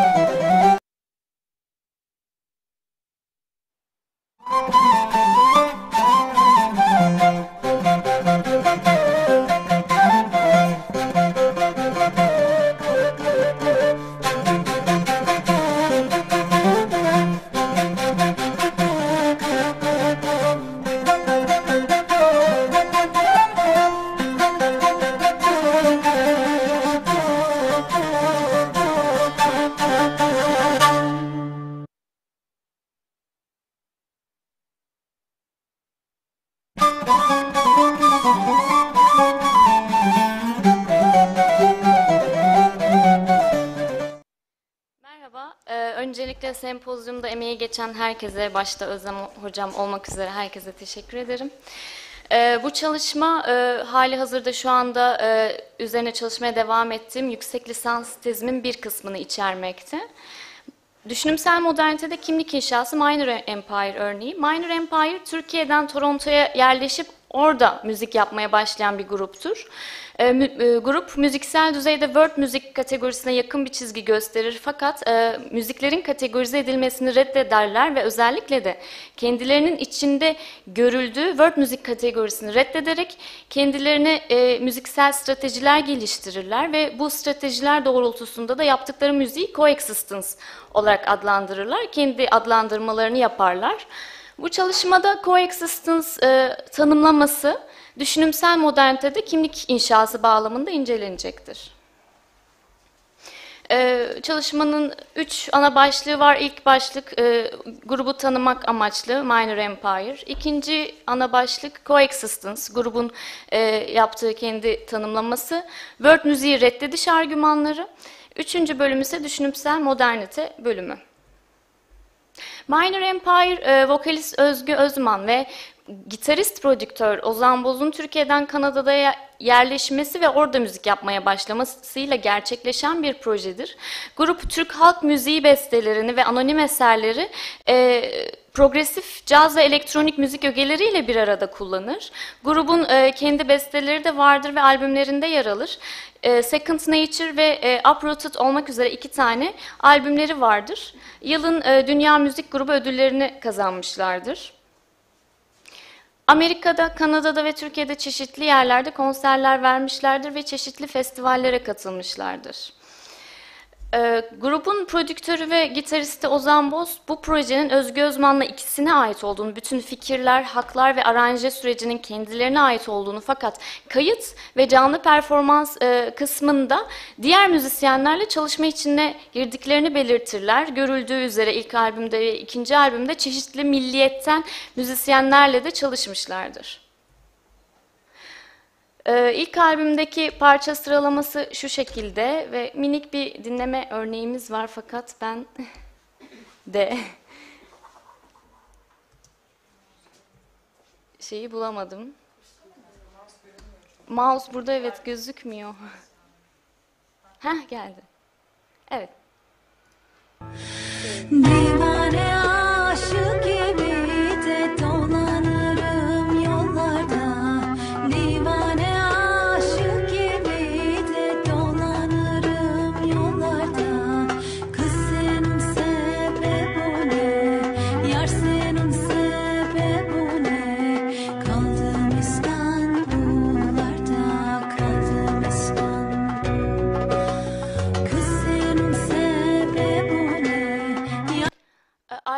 altyapıyı e, elektro, gitar, bas ve elektronik sesler kurar. Ritmi darbuka, bendir ve tef yürütür. Ağırlık e, sololar Türk müziği çal- Türk halk müziği çalgılarındadır ve vokal Türk halk, halk müziği pratiklerinden alışık olunan yöre- yöresel söyleyişle performans sergiler. İkinci al- albüm Uprooted'da ise e, yine minik bir dinleme örneğimiz var. E, albümde parça sıralaması bu şekilde.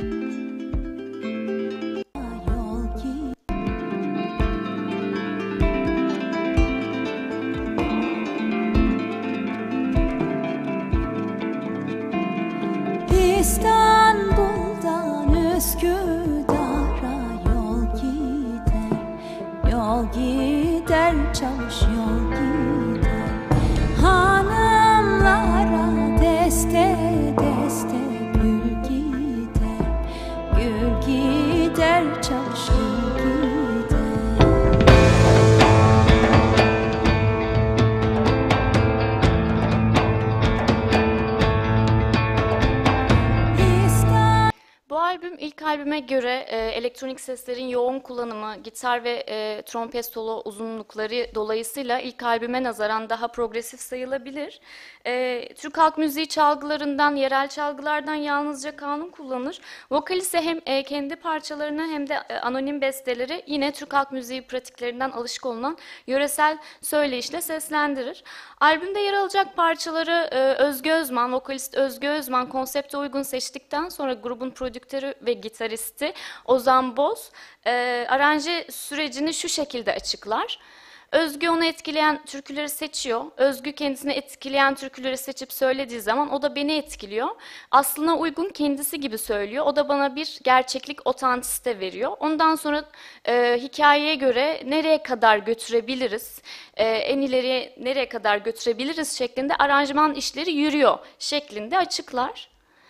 Ee, Ozan Boz'un bahsettiği aslında uygunluk değeri, e, türkülerin geleneksel halle- e, halleri olarak tahayyül ettiği aslında uygunluk düzeyin- düzeyindeki bağlantıyı vokal çizgisi bağlamında kurar. Fakat e, albüm betimlemelerinde ve ile- ilerleyen görüşme malumatlarından da anlaşılacağı üzere vokal hattına atfedilen bu aslında uygunluk değeri yerel çalgıların kullanımında ve batı müziği unsurlarının da kullanılış şeklinde görülür ve grup için birer otantisite işaretleyicisine dönüşür. Grup e, yaptıkları müziğe kendilerini ifade etmek, kendilerini yansıtmak anlamı atfeder. Kategorize edilemeyecek bir iş için çalıştıklarına vurgu yaparlar. E, ve world müzik başta olmak üzere bütün müziksel kategori kategorileri ve başlıkları kendi müziklerinde reddederek e, kendilerinin yaptığı müziği coexistence olarak tanımlarlar ve bunu da şu şekilde tarif ederler. Zıt olan iki şeyi geleneksel olanı alıp müziğin şu anda bugünkü bilgilerle yapabileceği en ileri seviyeyle progresif unsurları bir araya getirerek onları birlikte var etmek şeklinde tanımlarlar ve kendileri buna coexistence derler. Schaffer kimliğin kişinin ne olduğuyla değil, ne olmadığıyla ilgili olduğunu söyler. Hall ise kimliklerin asla tamamlanamaz, asla bitirilemez olduğunu ve öznellik halinde daima inşa halinde bulunduğuna dikkat çeker.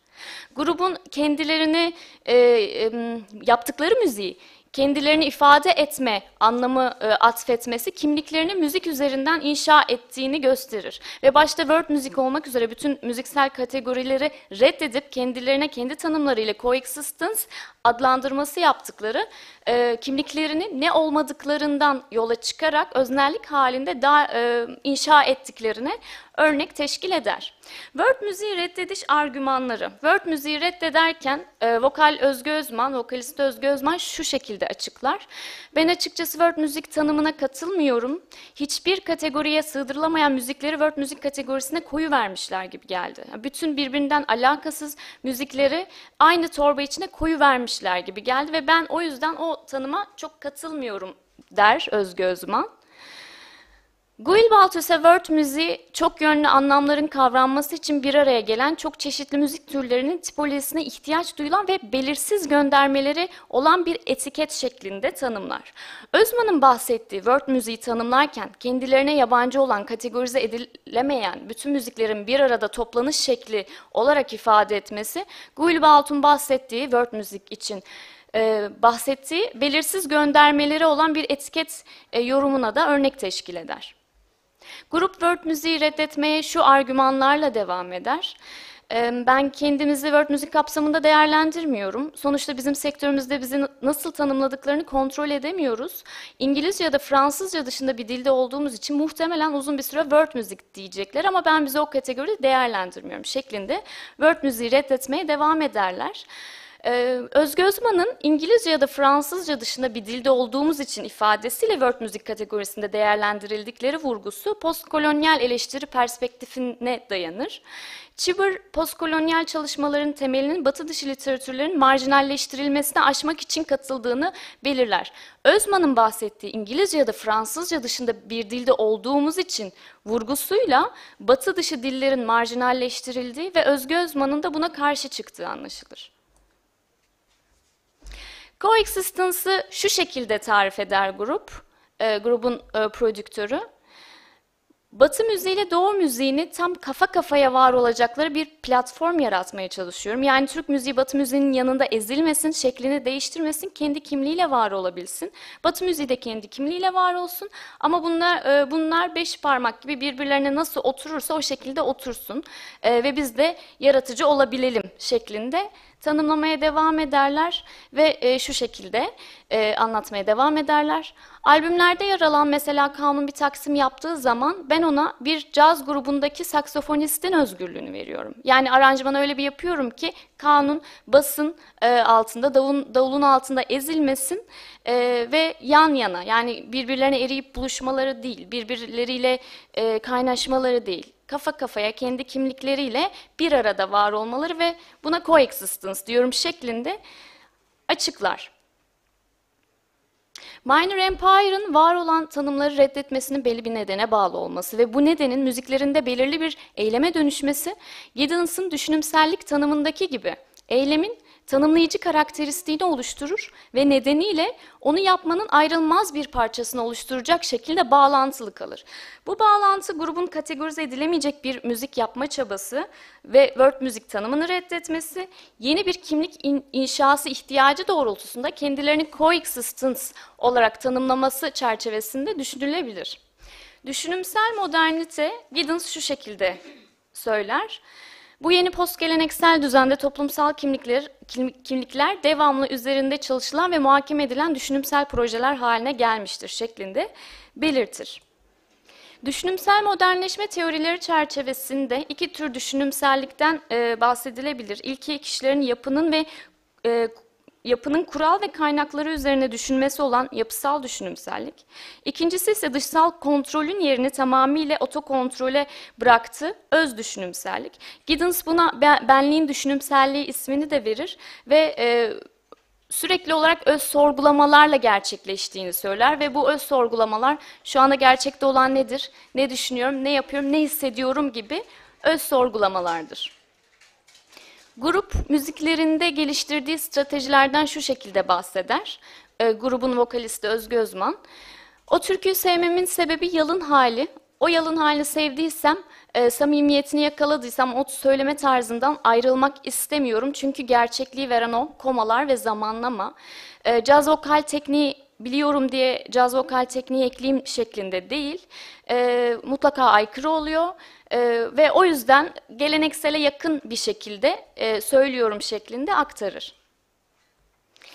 Giddens'a göre gelenek bütünüyle durağan değildir ve kültürel mirasını kendinden önce gelenlerden devralan her yeni kuşak tarafından yeniden icat edilmek zorundadır ve değişime fazla direnç göstermez. Minor Empire'da ise e, yerel çalgılar ve vokale atfedilen haki- hakikilik değeri doğrultusunda geleneksel ezgilere bağlı kalınarak Batı müziğin unsurlarının bir araya getirilmesi e, düş- düşünümsel davranışlarla geleneğin yeniden icat edildiği söylenebilir. Grup Müziklerinde geliştirdikleri stratejilerden şu şekilde bahsetmeye devam ederler. Ben burada özetleyeyim bu görüşme alıntısını. Ee, Burada e, dinlendiğinde adeta bir gitar solosu izlenimi veren e, git- uzun gitar parçaları grup için aranjmanın bir parçası niteliği taşır E, ve sololar parçalardaki sololar genellikle yerel çalgılara verilmiştir. Kanun, klarnet, e, bağlama gibi yerel çalgılara verilmişlerdir. Öncelikle aranjmanı yapılır parçanın. Ondan sonra e, yerel çalgı üzerine doğaçlama yapar, taksim yapar şeklinde.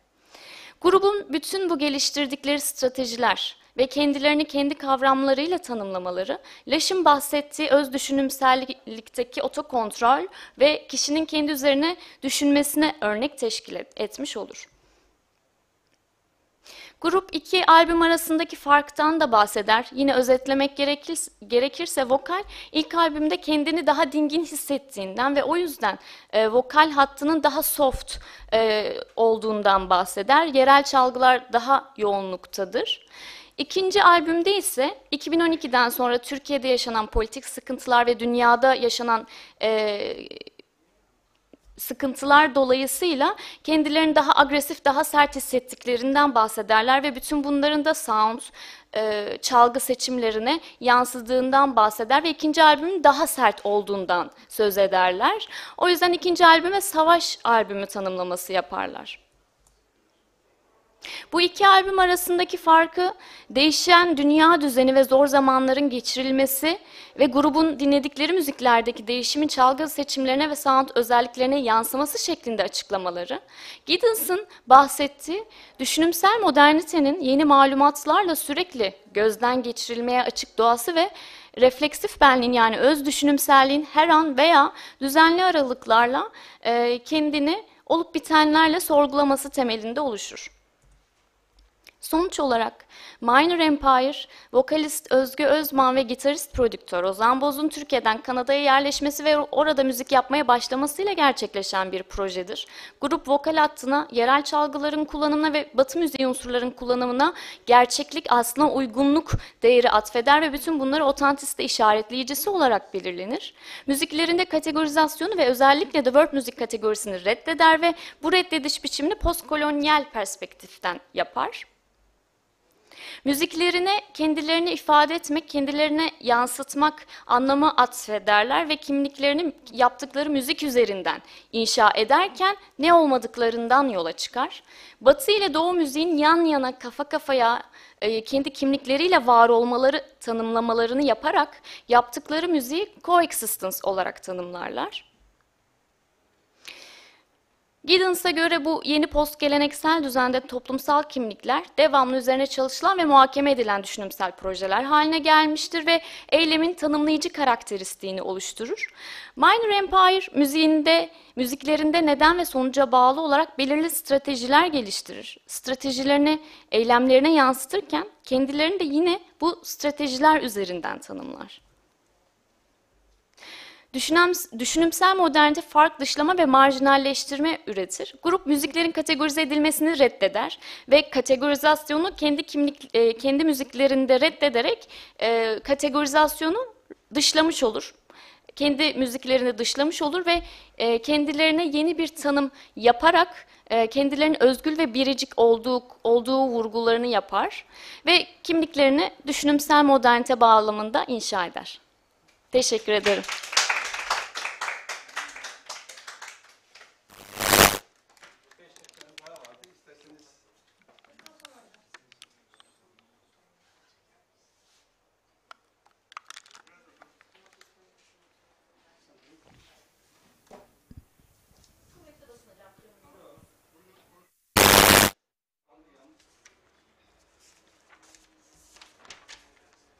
Sanırım değil mi? Evet. Evet. Cemre Nur, eee sana sunumdan teşekkür ederiz. Ben teşekkür ederim. Sorusu olan var mı diye salona soracağım. Sizin yine bir sorunuz var. Evet, güzel bir şey. Soru sormak güzel.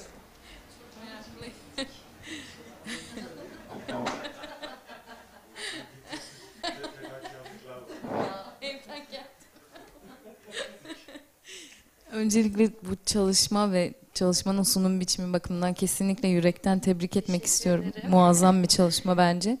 Ee, bunun bilgisini aslında az buçuk ben senin ifadelerinden e, hakimim diyeyim ama burada bir daha ifade edersek güzel olacağını düşündüğüm için soracağım.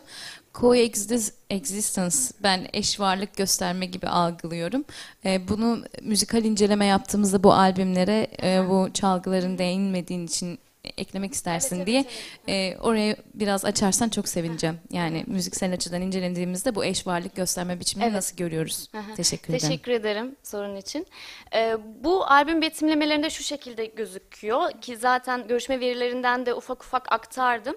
Ee, yerel çalgılara e, ha- hakikilik değeri atfediyorlar. Yani Kanun klarnet solo yaptığı zaman Türk halk müziği pratikleriyle solo yapıyor. Ee, altyapıda e, progresif, caz ve elektronik ögeler aynı nasıl ki psikodelik e, müzikte ya caz müziğinde ya da progresif müzikte kullanıldığı gibi, kullanıldığı şekliyle e, kullanmaya çaba sarf ediyorlar ve bunları e, üst üste e, altyapı devam ederken üstüne mesela kanun e, klarnet e, solo yapıyor. Bu bunlar çok net belirleyici ve en- be- bence benim fikrimce en belirleyici olan şey voka- vokalin söyleme üslubu, söyleme tarzı geleneksele çok yakın. Hani altyapıyı aldığımız zaman e, tıpkı bir e, Türk halk müziği dinlermiş e, çesine bir hissiyata kapılıyorsunuz. O dediğimiz kısımlarda e, çok belirgin bir şekilde görüyoruz kullanış biçimlerini. Teşekkürler. Hani şeyi de merak ettim aslında hani böyle matematiksel olarak sanki böyle e, çok planlı bir biçimde o eş varlık mevzusunu gösterme amaçlanıyor. Hem aranjede de e, işte çalışmanın genel hattında da ifade biçimlerinde de öyle gözüküyor. Matematiksel olarak da biz gerçekten o tüm çalgıların ya da içerisine dahil ettikleri müziksel unsurların eş varlık gösterdiğini görebiliyor muyuz ürünlerde? Matematiksel olarak mesela atıyorum hani e, bahsetmek istediğin süre anlamındaysa öyle bir şey yok. İşte trompete şu kadar süre ver- veriyorsak eğer kanuna da mutlaka şu kadar bir süre vermek zorundayız gibi o kadar matematiksel ince ince sü- süre e, bazında düşünerek yaptıkları bir şey değil. E, sadece e, çok e, belirgin bir biçimde aslında uygunluk değeri atfederek kullanmaya çalışıyorlar. Batı müziği unsurlarında caz, progresif, elektronik müzik ögelerini de o şekilde kullanmaya çaba sarf ediyorlar. Aynı şekilde yerel çalgıları da o şekilde kullanmaya çaba sarf ediyorlar. Teşekkür ederiz. Salondan başka soru var mı?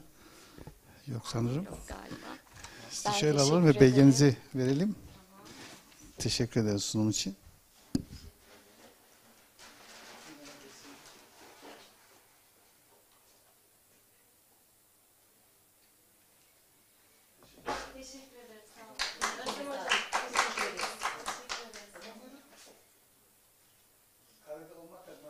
Yok şimdi diğerlerinde olmadı. Tamam. Tamam. Toplu fotoğraf çektiniz. Hocam şimdi Erhan Hoca'yı bağlayacağız ama siz hep. Tamam. Ee, Şimdi oturacağız. Ben telefonumu alayım atacağım.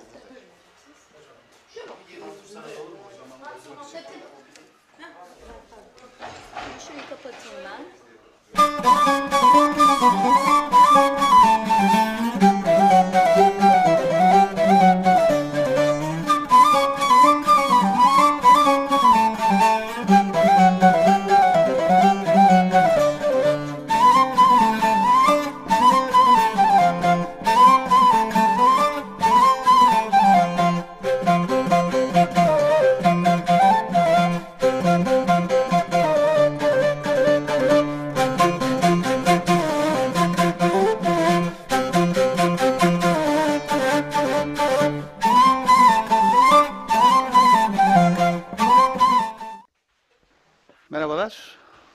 Geldiniz. Merhaba hocam. Sağ olun Nasılsınız? hocam. Teşekkür misiniz? ederim.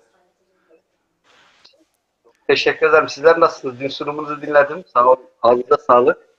Teşekkür ederim. Ben de eee, sizi New York'ta izlemiştim, dinlemiştim. İnşallah Antakya'da da eee Öyle mi? dinleriz, evet. Eee, şimdi Eren Tekin Evet, temsil ve iletişim bağlamında Antakya Melodi Korosu adlı sunumunu yapacak.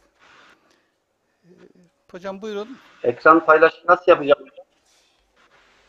Ee, Ekran hocam- paylaşımı nasıl yapacağım sunumum için? Ee, hocam, e, ekranınızın sağ altında e, ekranınızın tümünü paylaşın şeyi var. Tümünü göster. Evet. Evet. Şu an görü paylaşıyor musunuz ekranınızı? Ee, bunu paylaştıktan sonra şeyi mi açacağım hocam? Evet. PowerPoint'inizi açacaksınız. Önce ekranınızı bir şey yapın, paylaşın. Sonra PowerPoint'inizi açın.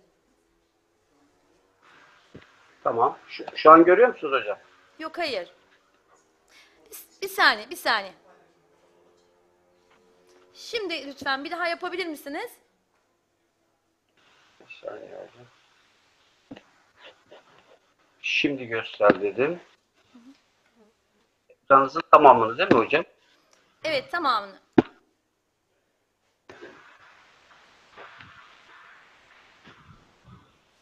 Tamam galiba değil mi hocam şu anda? Biz göremiyoruz Yine olmadı. ekranınızı. Ee, Erhan Hocam, e, bir daha ekran paylaşımı iptal edip tekrar yapar mısınız lütfen? Güzel. Şimdi göster. Burada ekranınızın tamamı pencere Chrome. Ekranınızın tamamı diyor. Evet. Paylaş şeyini bana aktifleştirmiyor. Niye hocam? İptal var sadece burada. Bir iptal edin. İptal edin onu. Evet ettim. Heh, şimdi yeniden lütfen aynı işlemi yapın.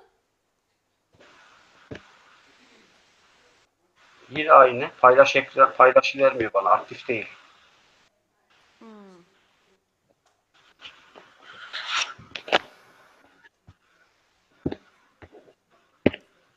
Bir saniye. Bir daha iptal et- etti.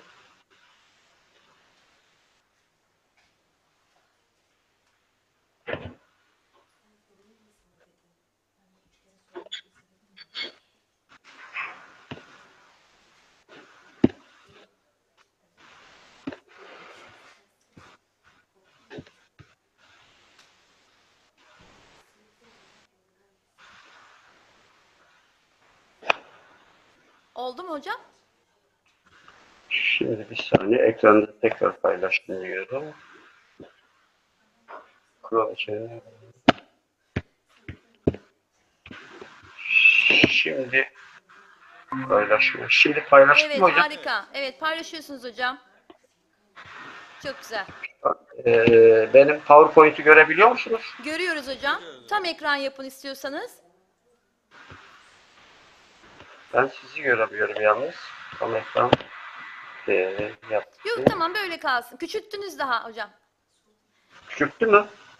Tamam şimdi böyle kalsın hocam. Tamam. Buyurun. Ben yalnız göremiyorum kendimi burada. Nasıl yapacağım bunu? Siz kendiniz, biz sizi görüyoruz hocam. Seni görüyorsunuz. Ha, Tamam. biz sizi görüyoruz. Buyurun hocam. Ama biz görüyoruz. Tamam. Çok, Ben çok sizin güzel mikrofonunuzu görünüyorsunuz. da biraz kapatayım. Sağ olun Sayın Hocam. Teşekkür ederim hepinize. Ee, ben öncelikle e, bu sempozyumu düzenlenmesinde görev olan başta Özlem Hocam, e, Şeyma Hocam ve e, emeği geçen diğer arkadaşlara çok teşekkür ediyorum. Hatta e, bu sempozyumda emeği görünmeyen, desteği görünmeyen diğer arkadaşlara da çok teşekkür ediyorum ve kurumlara da çok teşekkür ediyorum. Şu koronanın yaygın olduğu böyle bir dönemde e, bu zorluklar içerisinde bunu gerçekleştirmek gerçekten büyük cesaret ister. Özlem hocamın gerçekten yüreğine sağlık. Ee, konu tabii benim e, sunumumla e, Tuna Dalgalarındaki e, kültürlük arası diyalog projesinden çıkan bu e, konuyla çok örtüşüyor ve çok önemli bir konudur. E. E, özellikle e, günümüzde yurt içinde, yurt dışında yaşanan e, siyasi olayları göz önüne aldığımız zaman e, Antakya Medeniyetler Korosu konusunun çok önemli olduğunu göreceğiz. Ee, Ben e, 2018'de hemen kısaca bir açıklama. 2018'de Antakya e, Devlet Konservatuvarı'nı kurduk. E, Burada e, işte öğrenci alımına başladık. Tabii idari görevlerimiz yoğun bir şekilde devam ediyor. Fakat bu arada Hatay Antakya'nın müzikoloji, etnomüzikoloji alanında yani gerçekten çalışılacak çok konunun olduğunu gördüm. E, baktım yani işlerin de biteceği yok. Bir şekilde bir yerden başladık. E, işte Hristiyan Hocam- kiliselerini Hocam beni Arap duyabiliyor musunuz? duyuyorum. E, mikrofonu ağzınızı şey yap, aşağı sarkıtın hocam. Sesiniz boğuk geliyor çünkü. Şimdi konuşur musunuz? Ee, evet şimdi geliyor mu? Gayet iyi, gayet iyi. Sonra e, bir yerden başlayacağım diye başladım. E, Hatay'da e, Hristiyan kültürleri, müzikleri, Arap Alevleri, e, Sünni Araplar, e, Ermeniler, Özbekler, Türkmenler, Baraklar gerçekten e, yani tüm Türkiye'deki akademisyenler toplasak buradaki konuları çalışmaya bitiremeyiz. Biz bir yerde başladık. E, işte Arap Alevileriyle başladım. Barakları toplamaya başladım. Sonra Özlem Hocam'la yaptığımız görüşmede bu e, sempozyum için Hatay Medeniyetler Korosu'nu çalıştık. Bu koro, e, bu koroda gerçekten yani her bir konusu disiplinler arası tarihçiler, sosyologlar tarafından çalışılması gerekiyor. E, ayrıca yani repertuarıyla, korosuyla, işleviyle gerçekten çok e, güzel ve geniş bir konudur. E, ben şimdi e, konuya e, başlıyorum. E, konunun başlığı e, müziksel temsil ve iletişim bağlamında Antakya Medeniyetler Korosu. Şimdi bu koronun tabii background'una baktığımız zaman önce böyle e, kültür, müzik veya işte teorik çerçeveler hakkında e, hızlıca birkaç şey söyleyeceğim. İnsan davranışını sosyal ve kültürel olarak çoğu işaretler, sesler, amblemler anlamlı biçimde yansıtan simgeler ortaya konur. Bu simgeler ancak insanlar arasında iletişim içindeki kullanımları konusunda hem fikir olduğu zaman bu simgeler anlam kazanır. Hepimiz dini simgelerin o dini o dine inanan kişiler üzerinde nasıl bir etkisi olduğunu bilincindeyiz. İslamiyet'in hilal, Hristiyanlıkta haç, Yahudilikte Davut yıldızı, Hindularda da inek ortak bir anlam içererek inananlara yıllarca sürmüş mücadeleyi, eziyeti, felsefeyi ya da inancı ifade eder veya temsil eder.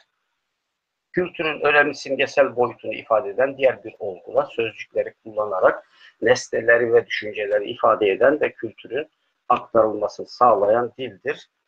Burada da müziğin sözleridir. Ee, sanatın işlevine şöyle bir hızlı göz atalım. Ee, sanat günlük yaşama güzellik ve zevk katmanın yanı sıra bazı işlevleri de yerine getirir. Sözlü sanatlar genelde bir kültürün gelenek ve değerlerini ortaya e, yayar ve kor, e, korur. Şarkılarda e, benzer bir işlevi müzikal biçimde gerektirdiği yapılar içerisinde gerçekleştirir. Her türlü sanat biçimi belirli bir e, toplumun özelliğini yansıtma derecesine göre o toplumun birlik ve beraberliğine katkıda bulunur.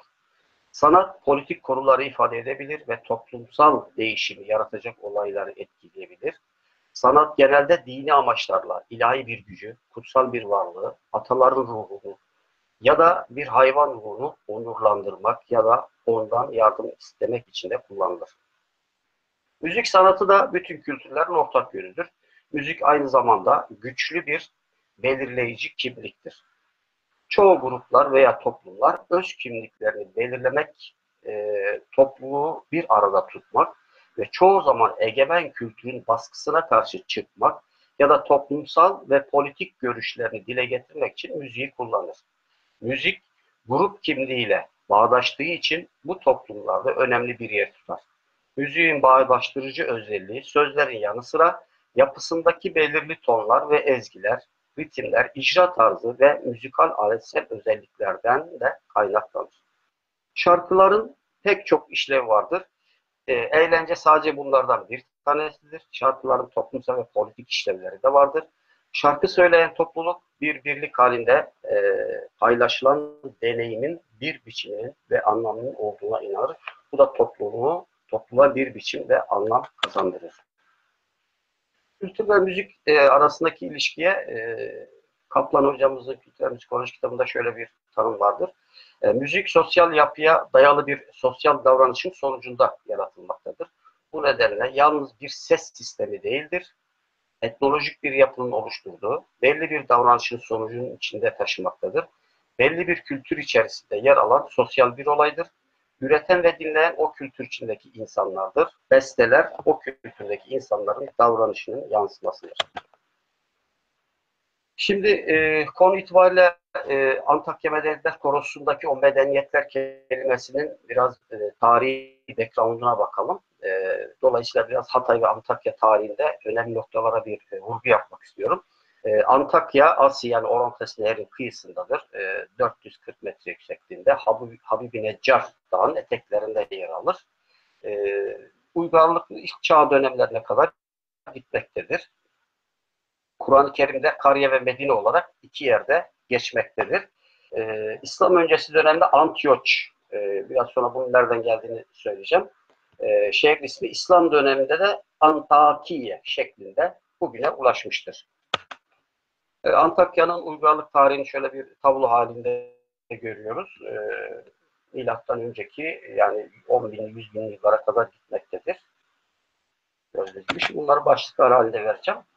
Şimdi e, yaşam Paleolitik döneme kadar dayanmaktadır. Önemli noktalara burada göz atacağız. E, Kalkolitik dönemde yerleşim yerleri Amik Ovası'nda görülüyor. E, bu medeniyetlerden birisi Akatları. Milattan önce 3000'de Akatları görüyoruz. Milattan önce 1595'te Hititleri görüyoruz. Yine e, o yıllarda Mısır ve Miktan uygarlıklarını görüyoruz. Milattan önce 900'de bakın e, Hatina e, adını almıştır. Bu e, Hattiler e, bu Hattiler e, hatta Atatürk'ün e, Antakya ile şey Hatay ile ilgili benim şahsi meselemdir dediği e, e, 40 bin yıllık e, bir e, Türk yurdu düşman elinde kalamaz dediği işte buradaki tarihçesini Hattina'ya dayandırmaktadır. E, yine Yunanlıları görüyoruz. Hititler, Asurlar, Yunanlılar, Persler ve nihayet Antakya'nın tarihinde önemli olan Büyük İskender'i görüyoruz. Büyük İskender Makedonların hakimiyeti ve Helenistik kültürü e, milattan önce 333'te geliyor. E, bu arada savaşlar ve fetihlerle Babiller devreye giriyor ve şurası çok önemlidir. E, Büyük İskender'in ölümünden sonra Babil ve e, bu e, Selevakos e, birinci İmparatorun hakimiyetine girmiş. Başkent olarak Samanlar Çevrik bölgesini e, Selevya'da e, Piera yani e, liman olarak seçmiş. Güvenlik açısından daha sonra bugünkü Antakya başkenti taşınmış ve babasının adı Antioch'un adını şehre vermiştir. Şehrin mimari yapısı e, hipodamus dediğimiz e, böyle köşeli sokaklar dikdörtgen şeklindedir. Ve milattan önce 47'de Sezar'ı görüyoruz Antakya'da. E, olimpiyat oyunlarını görüyoruz. Milattan önce 31. yılda yani burada e, 80 bin kişilik bir hipodrom olimpiyat oyunlarının yapıldığından bahsediyor tarih kitapları. Ve yine Antakya tarihinde çok önemli bir dönem. E, Hristiyanlık başlıyor. Hazreti İsa'nın havale Saint Pierre'in Antakya'ya misyonerlik için geldiğini ve Hristiyan kelimesinin ilk defa Hatay'da, Antakya'da ortaya çıktığını görüyoruz. E, Roma İmparatorluğu bölünüyor. Bizans'ın egemenliğinde kalıyor. O dönemde e, dünyanın üç büyük şehrinden birisi oluyor en kalabalık. Nüfusun 300 binden fazla olduğunu söyleniyor. Ve nihayet milattan sonra 638'de Yermük Savaşı'yla Müslüman Araplar geliyor. Ee, yine ek bilgi olarak söylüyorum. Burada Habibi Neccar Camii vardır. Anadolu topraklarında yapılan ilk camidir. Ee, şu anki hali tabi biraz onarılmış. Ee, daha sonra Memlukluları, Moğolların iş, e, işgalini görüyoruz. Moğolların buradaki e, savaşlarını. Yavuz Sultan Selim yine önemli bir noktadır. 1516'da Mısır seferiyle bu bölgeye geliyor, fethediyor. 1918'de Fransız yönetimi geliyor. Fransızlardan sonra 1937'de e, Hatay Devleti oluyor. 39'da Türkiye Cumhuriyeti'ne katılıyor. Ve yine Temmuz'un 23'ünde e, Hatay ili olarak e, Türkiye Cumhuriyeti'nin bir ili oluyor. E, şimdi biraz da konumuzun background'ındaki e, teorik çerçevedeki terimlere bir göz atalım.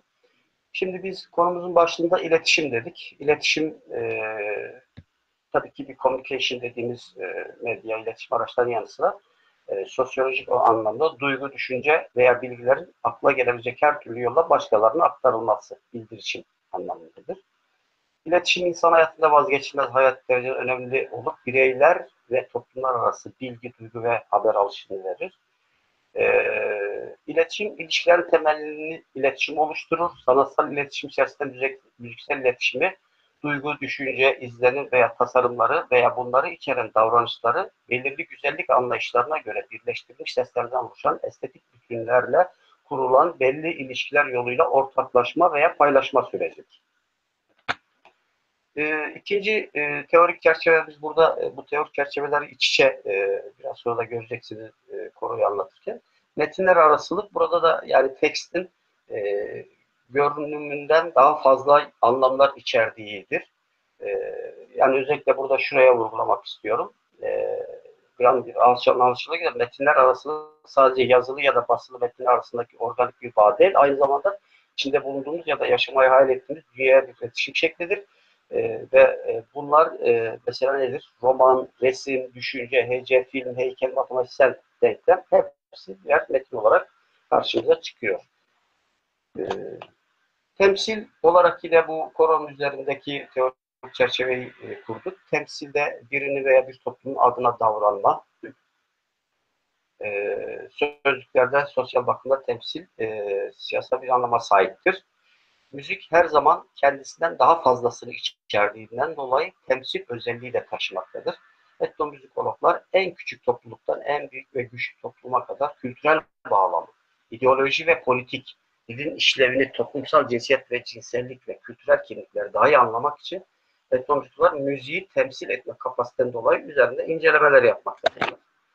Ee, yansıda gördüğünüz gibi olmanın mesela müziğin e, kendisini ne temsil ettiğini, yani kendisinin ne olduğunu ve fazlasının ne olduğu temsilde. Yani kendisinin sesken diğer tarafta bir sessizlik.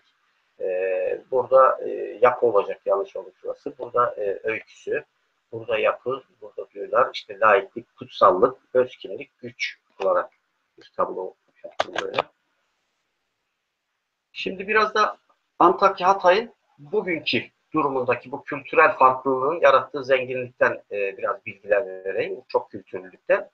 Şimdi en kalabalık nüfusa sahip Alevi Araplar ve Sünni Türklerdir. Bunlardan başka e, işte Alevi Türkler, Sünni Araplar, Ortodoks ve Protestan Araplar, Erbeyler, Yahudiler, Kürtler, Özbekler ve diğer küçük sayıda topluluklar Hatay'da çok kültürlü yapının dinamiklerini oluşturuyor. Hatay'da yüzyıllardır farklı din ve inanç müntesipler sonsuz bir şekilde varlıklarını sürdürmektedir. Demin baktık tarihçesine. Tarih boyunca çeşitli inançlara sahip pek çok millete ev sahipliği yapmış olan Hatay'da çok sayıda şair, bilim adamı yetişmiştir. Ee, yine e, Hatay bu özelliğini bugün de korumaktadır. İslam, Hristiyan ve Musevi inançları iç içe yaşamakta. Cami, kilise ve havra yan yana varlıkları ve fonksiyonları sürdürmektedir. Toplumun sahip olduğu ve geçmişten bu yana getirdiği ortak kültür e, nedeniyle inanç farklılıkları hiçbir zaman problem olmamış.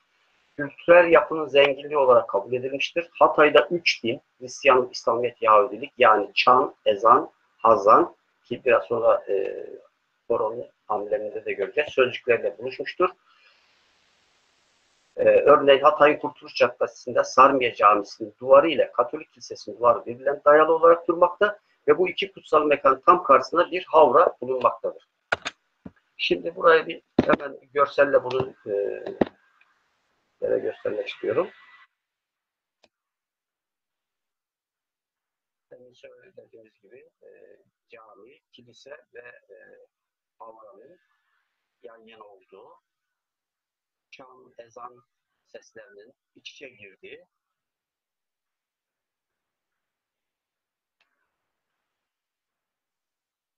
Bakın gördüğünüz gibi e, kilise ve cami yan yana. Ve karşısında da e, Yahudi sinagogu.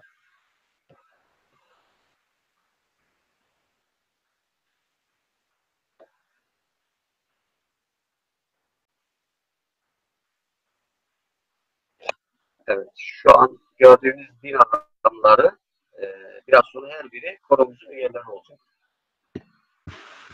Evet, çıkıyorum.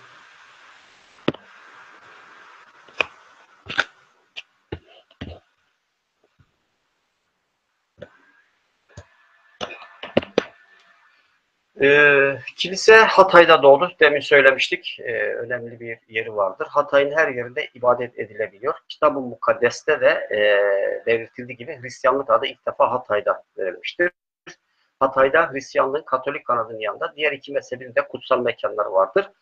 Protestan kilisesi ve Ortodoks kilisesi de bulunmaktadır. Hatay'da yaklaşık 1200-1300 civarında Hristiyan nüfusu bulunmaktadır.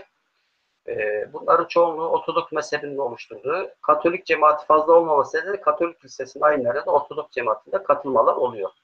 Hatay'daki Yahudilerin durumuyla ilgili olarak e, sinagog sorumlusu Shaul Cenudioğlu, Hatay'da daha önceleri çok sayıda Yahudi olduğunu, ancak bunların ekonomik nedenlerden dolayı İstanbul ve İsrail'e göç ettiğini ve bugün için Yahudilerin sayısı ise takriben 40-50 civarında bulunduğunu ifade etmektedir. Buradaki göçün herhangi bir hoşgörüsüzlükten kaynaklanmadığını özellikle vurguladı. Cenizoğlu dinsel farklılık ve hoşgörünün günümüz dünyasındaki önemine işaret etmektedir. Cenizoğlu'nun e, bu toplumsal ve kültürel farklılığın değişikliğini benzetme yaparak şu şekilde ifade etmektedir. Mesela insanların kan grupları farklı ama kanlarının rengi aynıdır. İnsanların gözlerinin rengi farklı ama gözyaşları aynıdır. Antakya çiçek bahçesine benzer. Her renkten her çiçek bulunur. Güzellik burada yatıyor. Bir bahçede tek renk, tek çiçek zamanla sıkıcı olur. Şimdi konumuzun e, özü olan medeniyetler konusu hakkında biraz bilgi verelim. Ortodoks Kilisesi'nin rahibi. Burada özellikle vurgu yapmak istiyorum. Koro üyelerine bakın hepsinin birer e, dini lider kimliği taşımaktadır. Dimitri Doğum bu şehirde hiç kimsenin diğerlerinin dinini sorgulamadığını belirtmektedir. Hatay'da farklı din mensuplarının oluşturdukları medeniyetler konusunun varlığını bu hoşgörüyü ve en güzel şekilde ortaya koyduğunu söylemektedir. Dimitri Doğum kendisi ve eşi de bu koronun içindedir. Yine koronun amblemini aşağıda gördüğünüz gibi medeniyetler korosu e, içerisinde demin gördüğümüz üç sesin e, simgelemektedir. İslamiyet, Hristiyanlığı ve Yahudiliği. Şu gördüğünüz çevredeki sekiz tane mezhebi simgelemektedir. Şu en son gördüğümüz daire çizgi de e, buradaki bunların mesela e, koro ile birlikte biz varız. E, yani sen ben yok biz varız. Birliği bu bütün farklılıkların bir birlik içinde, bütünlük içinde olduğunu ifade ediyor, anlamları taşımaktadır. Farklı dil ve dinden insanların barış içinde yaşadığı Hatay'da Hristiyan, Musevi, Alevi ve Sünni Müslümanların katılımıyla kurulan Medeniyetler Korosu, Türkiye'nin birlik ve beraberliğini sergilendiği en güzel örneklerden birisi olarak karşımıza çıkmaktadır. Hatay'daki Medeniyetler Korosu farklı din ve kültürler olan insanların bir mozaik oluşturulmasının en güzel örneğini teşkil etmektedir. Ki Hatay'da yani bu da gerçekten e, mozaiklerle çok meşhurdur. E, yani bir benzerlik içermektedir. Hatay Arkeoloji Müzesi'ni gezdiği zaman dünyanın en büyük mozaikleri Hatay'da bulunmaktadır. Erhan Hocam, Ee, affedersiniz. Ee, zamanı hatırlatmak adına beş, son 5 dakikanız var diyeyim. Daha sonraki e, süre e, Tamam, soru cevap tamam. şeklinde olacak. Bu konuşmayı Tamam. da ekleyeceğim. Tamam, hızla, hızlanıyorum hocam. Aslında konunun e, güzel yerlerine geldik şimdi. E, böyle hızlı geçiyorum. Bu koro tabii turizm haftası nedeniyle 2007'de kurulmuş, 2008'de dernekleşmiş. E, koronun e, üyeleri e, imamlar, papazlar, rahipler, rahibeler, öğretmenler, doktorlar gibi çeşitli mesleklerde e, 130 kişiden oluşmakta, 120-130. Daha sonra 2020'de 200 kişiye çıkarıldı. Koronun prova çalışma yerleri e, dernek olarak aldığı bir e, tarihi Antakya evinde yapılmaktadır. E, koro üyeleri profesyonel üyelerden oluşmuyor. Şimdi e, e, Yılmaz Özfırat, koro şefinin bir ifadesi var bu durumu açıklamak için. Farklı din ve mezheplerden oluşan Hatay'da doğmuş ve doğuştan Türk vatandaşlığı edinmiş koro üyeleri halkın içinde insanlardır. Birileri yaptı dedirtmemek için halkın içinden çıktı. Halktan kişiler olsun istedik. Eğer profesyonel müzisyenlerden koroyu kursaydık bu amaç e, bu bir amaç ve para karşılığında yapıldı gibi düşünülebilirdi. E, geldiği için farklılığın bir temsilidir. Şimdi e, burada Yılmaz Özfırat'ın bir açıklamasını ve koro evini görüyorsunuz şu anda.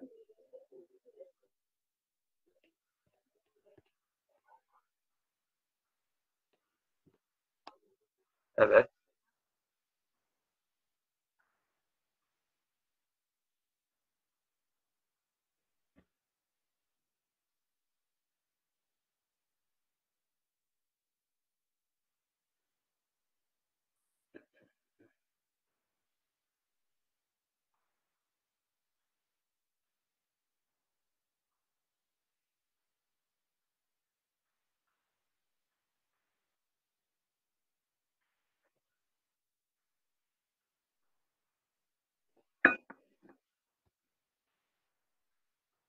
Çalışma yerini görelim. Biraz öne alıyorum.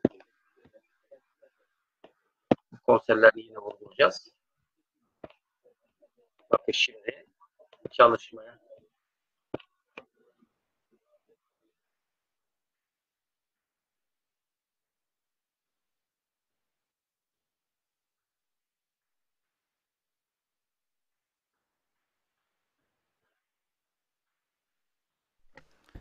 Erhan Hocam, Efendim hocam. kulaklığınızı çıkarırsanız hem kulağınızın hem bilgisayardan öylelikle biz e, son örneği duyabiliriz. Öyle mi? Size ses gelmedi mi hocam? Gelmedi. Kulaklığınızı bilgisayardan da çıkarın lütfen. Çıkardım çıkardım. Tamam hocam. Size ses gelmedi mi demin? Hayır. Aa, üzüldüm vallahi. Çok güzel şeyler dinletti. Devam ediyorum. Onu bir daha bir, bir, bir duyurun lütfen. Ee, devam ediyorum. Tamam hocam. Erhan Hocam, videodaki görüntünün seslerini duyamadık. Orayı tekrar alabilir miyiz? Orayı tekrar alalım o zaman. Bir Evet. saniye bir daha deniyorum. Oradan itibaren. Teyit eder misiniz bana? Tamam. Geliyor mu? Şu an burada ses var mı bilmiyorum ama e, koronun görüntüsünün olduğu yerdeki kısma gelirseniz Ee, size ses gelmiyor mu hocam? sizin sesiniz geliyor yalnızca. Aa, Kulaklığı bilgisayardan çıkardınız mı? çıkardım hocam. Şu an duyabiliyor musunuz?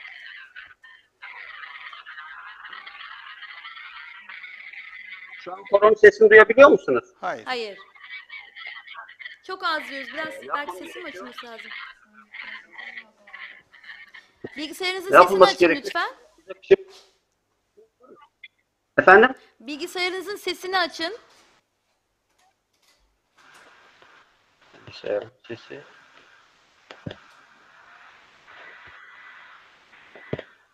Açık. Bilgisayarım açık. Şu anda son ses açık hocam. Tamam devam edelim hocam.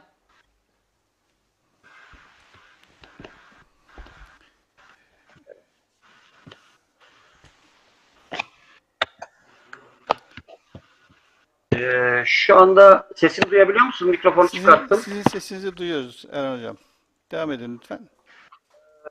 Yılmaz Özfırat hakkında e, biraz bilgi vermek istiyorum. E, Yılmaz Özfırat e, yaradılanı sev, yaradanın ötürü felsefesini benimsemektedir. 1970 doğumlu. Gaziantep Üniversitesi Türk Müzik Devlet Konservatuarı halk oyunlarından 1994'te mezun. 98'de Kars öğretmenlik, 2001'de Hatay'da Halk Eğitim Merkezi'nde halk oyunları öğretmenliği, Mustafa Kemal Üniversitesi'nde halk oyunları derslerine girdi. 2010'da da Milli Eğitim'de açılan e, değişikliği yaparak müzik öğretmenliğine geçiş yaptı. E, şimdi medeniyetler konusunun repertuarına geçeceğim ama buraya bir e, yine denemek istiyorum. E, repertuarından birkaçını dinletmek istiyorum. Lebbeyk Teala Bedru bu bir sünni ilahidir.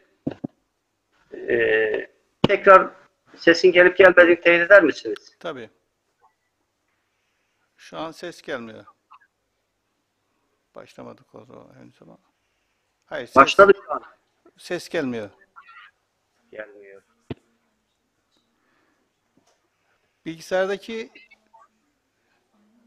sesi açmanız mümkün mü? Ya da kulaklığın bilgisayardaki bağlantısını çıkarın lütfen. Çıkardım şu an bilgisayarımda bağlı değil hocam şu anda. E, yapmam gerek. Tek kanalda yapacağımız bir şey var mı hocam? Şu an görüntünün e, sesini paylaşma seçeneği var mı bilgisayarınızda? Ne var mı hocam?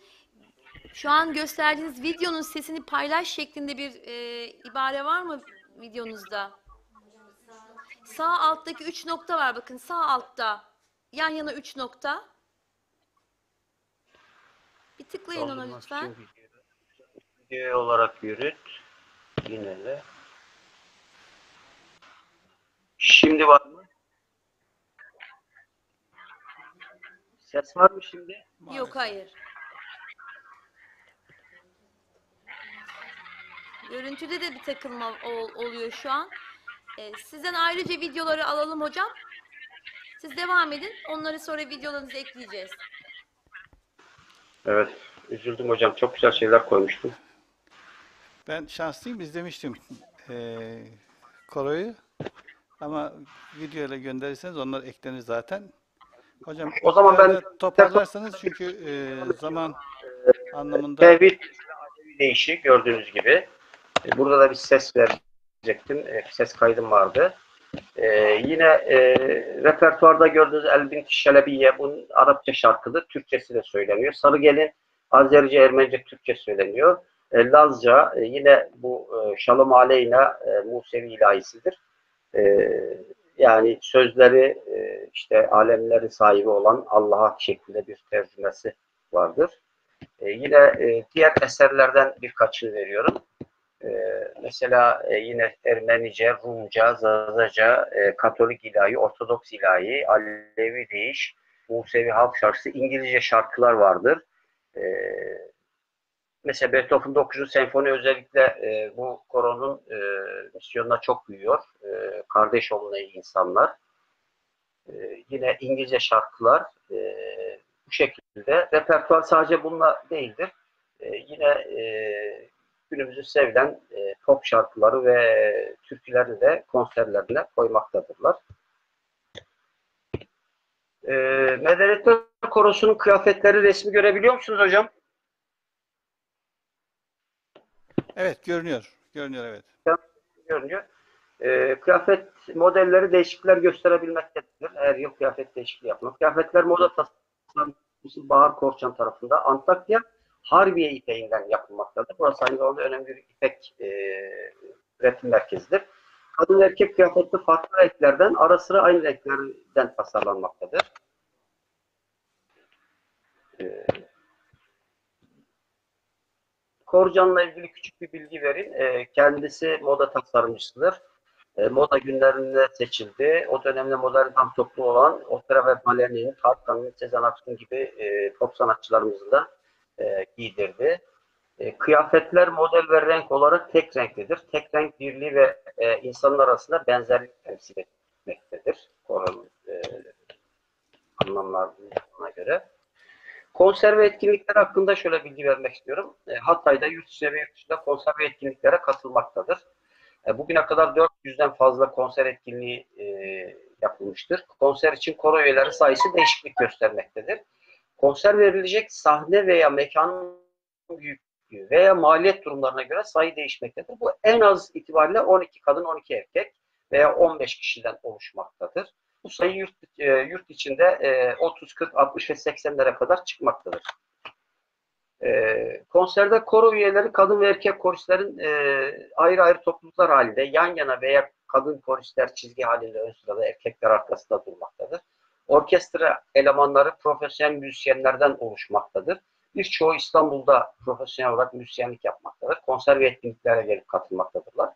Ee, orkestra Türk ve Batı müzik çalgılarından işte ney, kaval, zurna, bağlama, klarnet, keman, gitar, bas, e, bas gitar, klavye, elektro, bateri, darbuka vesaire gibi çalgılardan oluşmaktadır. Ee, orkestrada konserlerde resimde gördüğünüz gibi ya koronun tam önünde çizgi halinde oluyor ya da e, ikiye ayrılmış olarak e, bu şekilde yerini almaktadır sahnede. Ee, konserler genellikle Hatay tanıtım ve gastronomi günleri. Bu Hatay'ın önemli bir e, özelliği de gastronomi olmasıdır. E, yemekleri, mezeleri çok lezzetlidir. İnşallah hepiniz ziyaret edersiniz. İstanbul, Ankara'da tanıtım günlerine katılmaktadır. Mesela şöyle bir e, e, konserle ilgili yani günlük bir olay anlatacağım. 25 Eylül 2019'da İstanbul Maltepe'de Cemal Reşit konserinde e, akşamında konser verdikten sonra Amerika'ya seyahat ediyorlar konser için. Yani 24 saatte 3 konser birlikte veriliyor. Burada Evet. e, tanıtım günleri konserinin mesela bir tane yine göstereyim. Görüntü alabiliyor musunuz oradan? Şu an evet. Görüntüyü görüyoruz evet.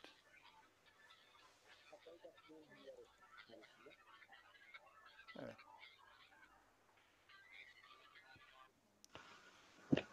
Görüntü var mıydı hocam? Görüntü, görüntü var. Ee, malum yine ses yok. Devam edelim hocam. Evet, devam ediyorum hocam.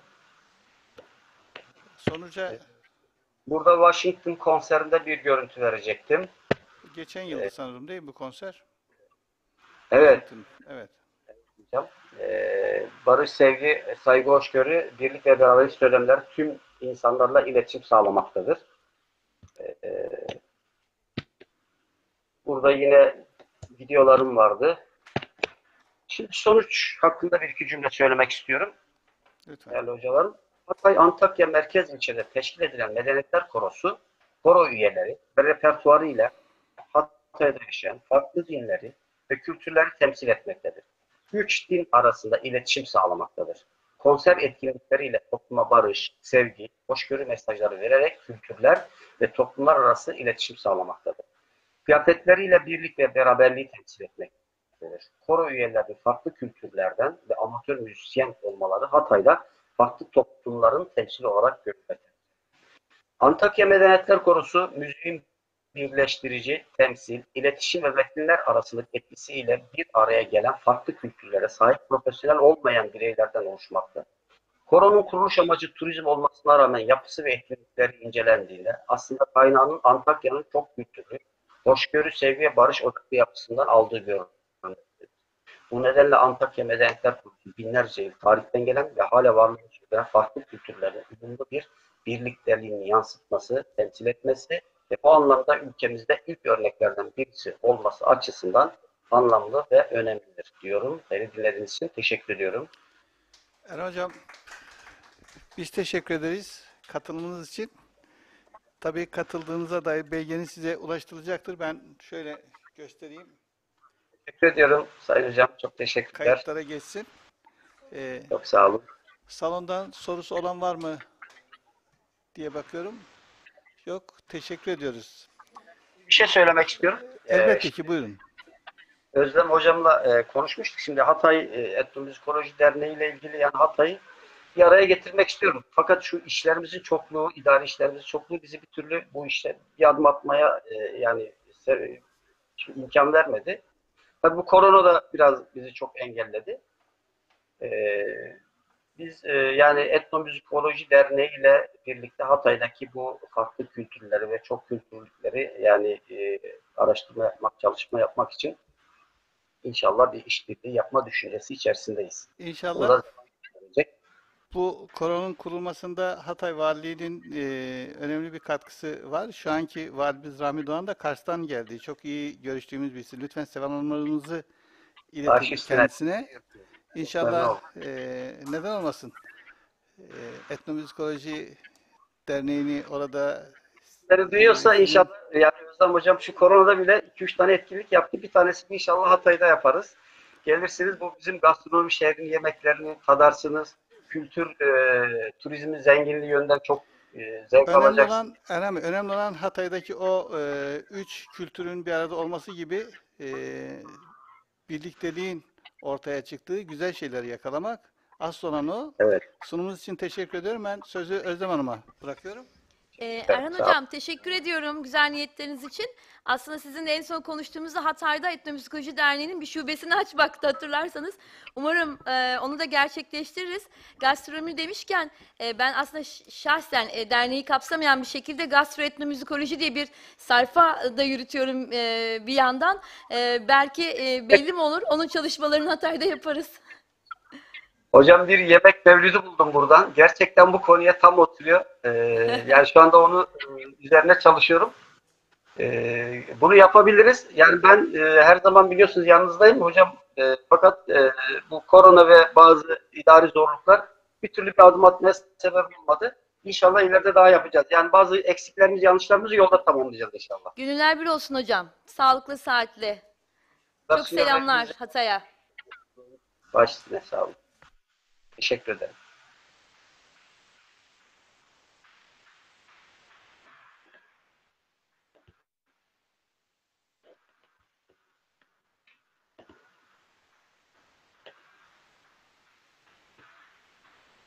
Evet. Kısa bir öğle arasından sonra e, saat 13'te son oturumumuzda tekrar sizle birlikte olacağız. Şimdilik hoşçakalın.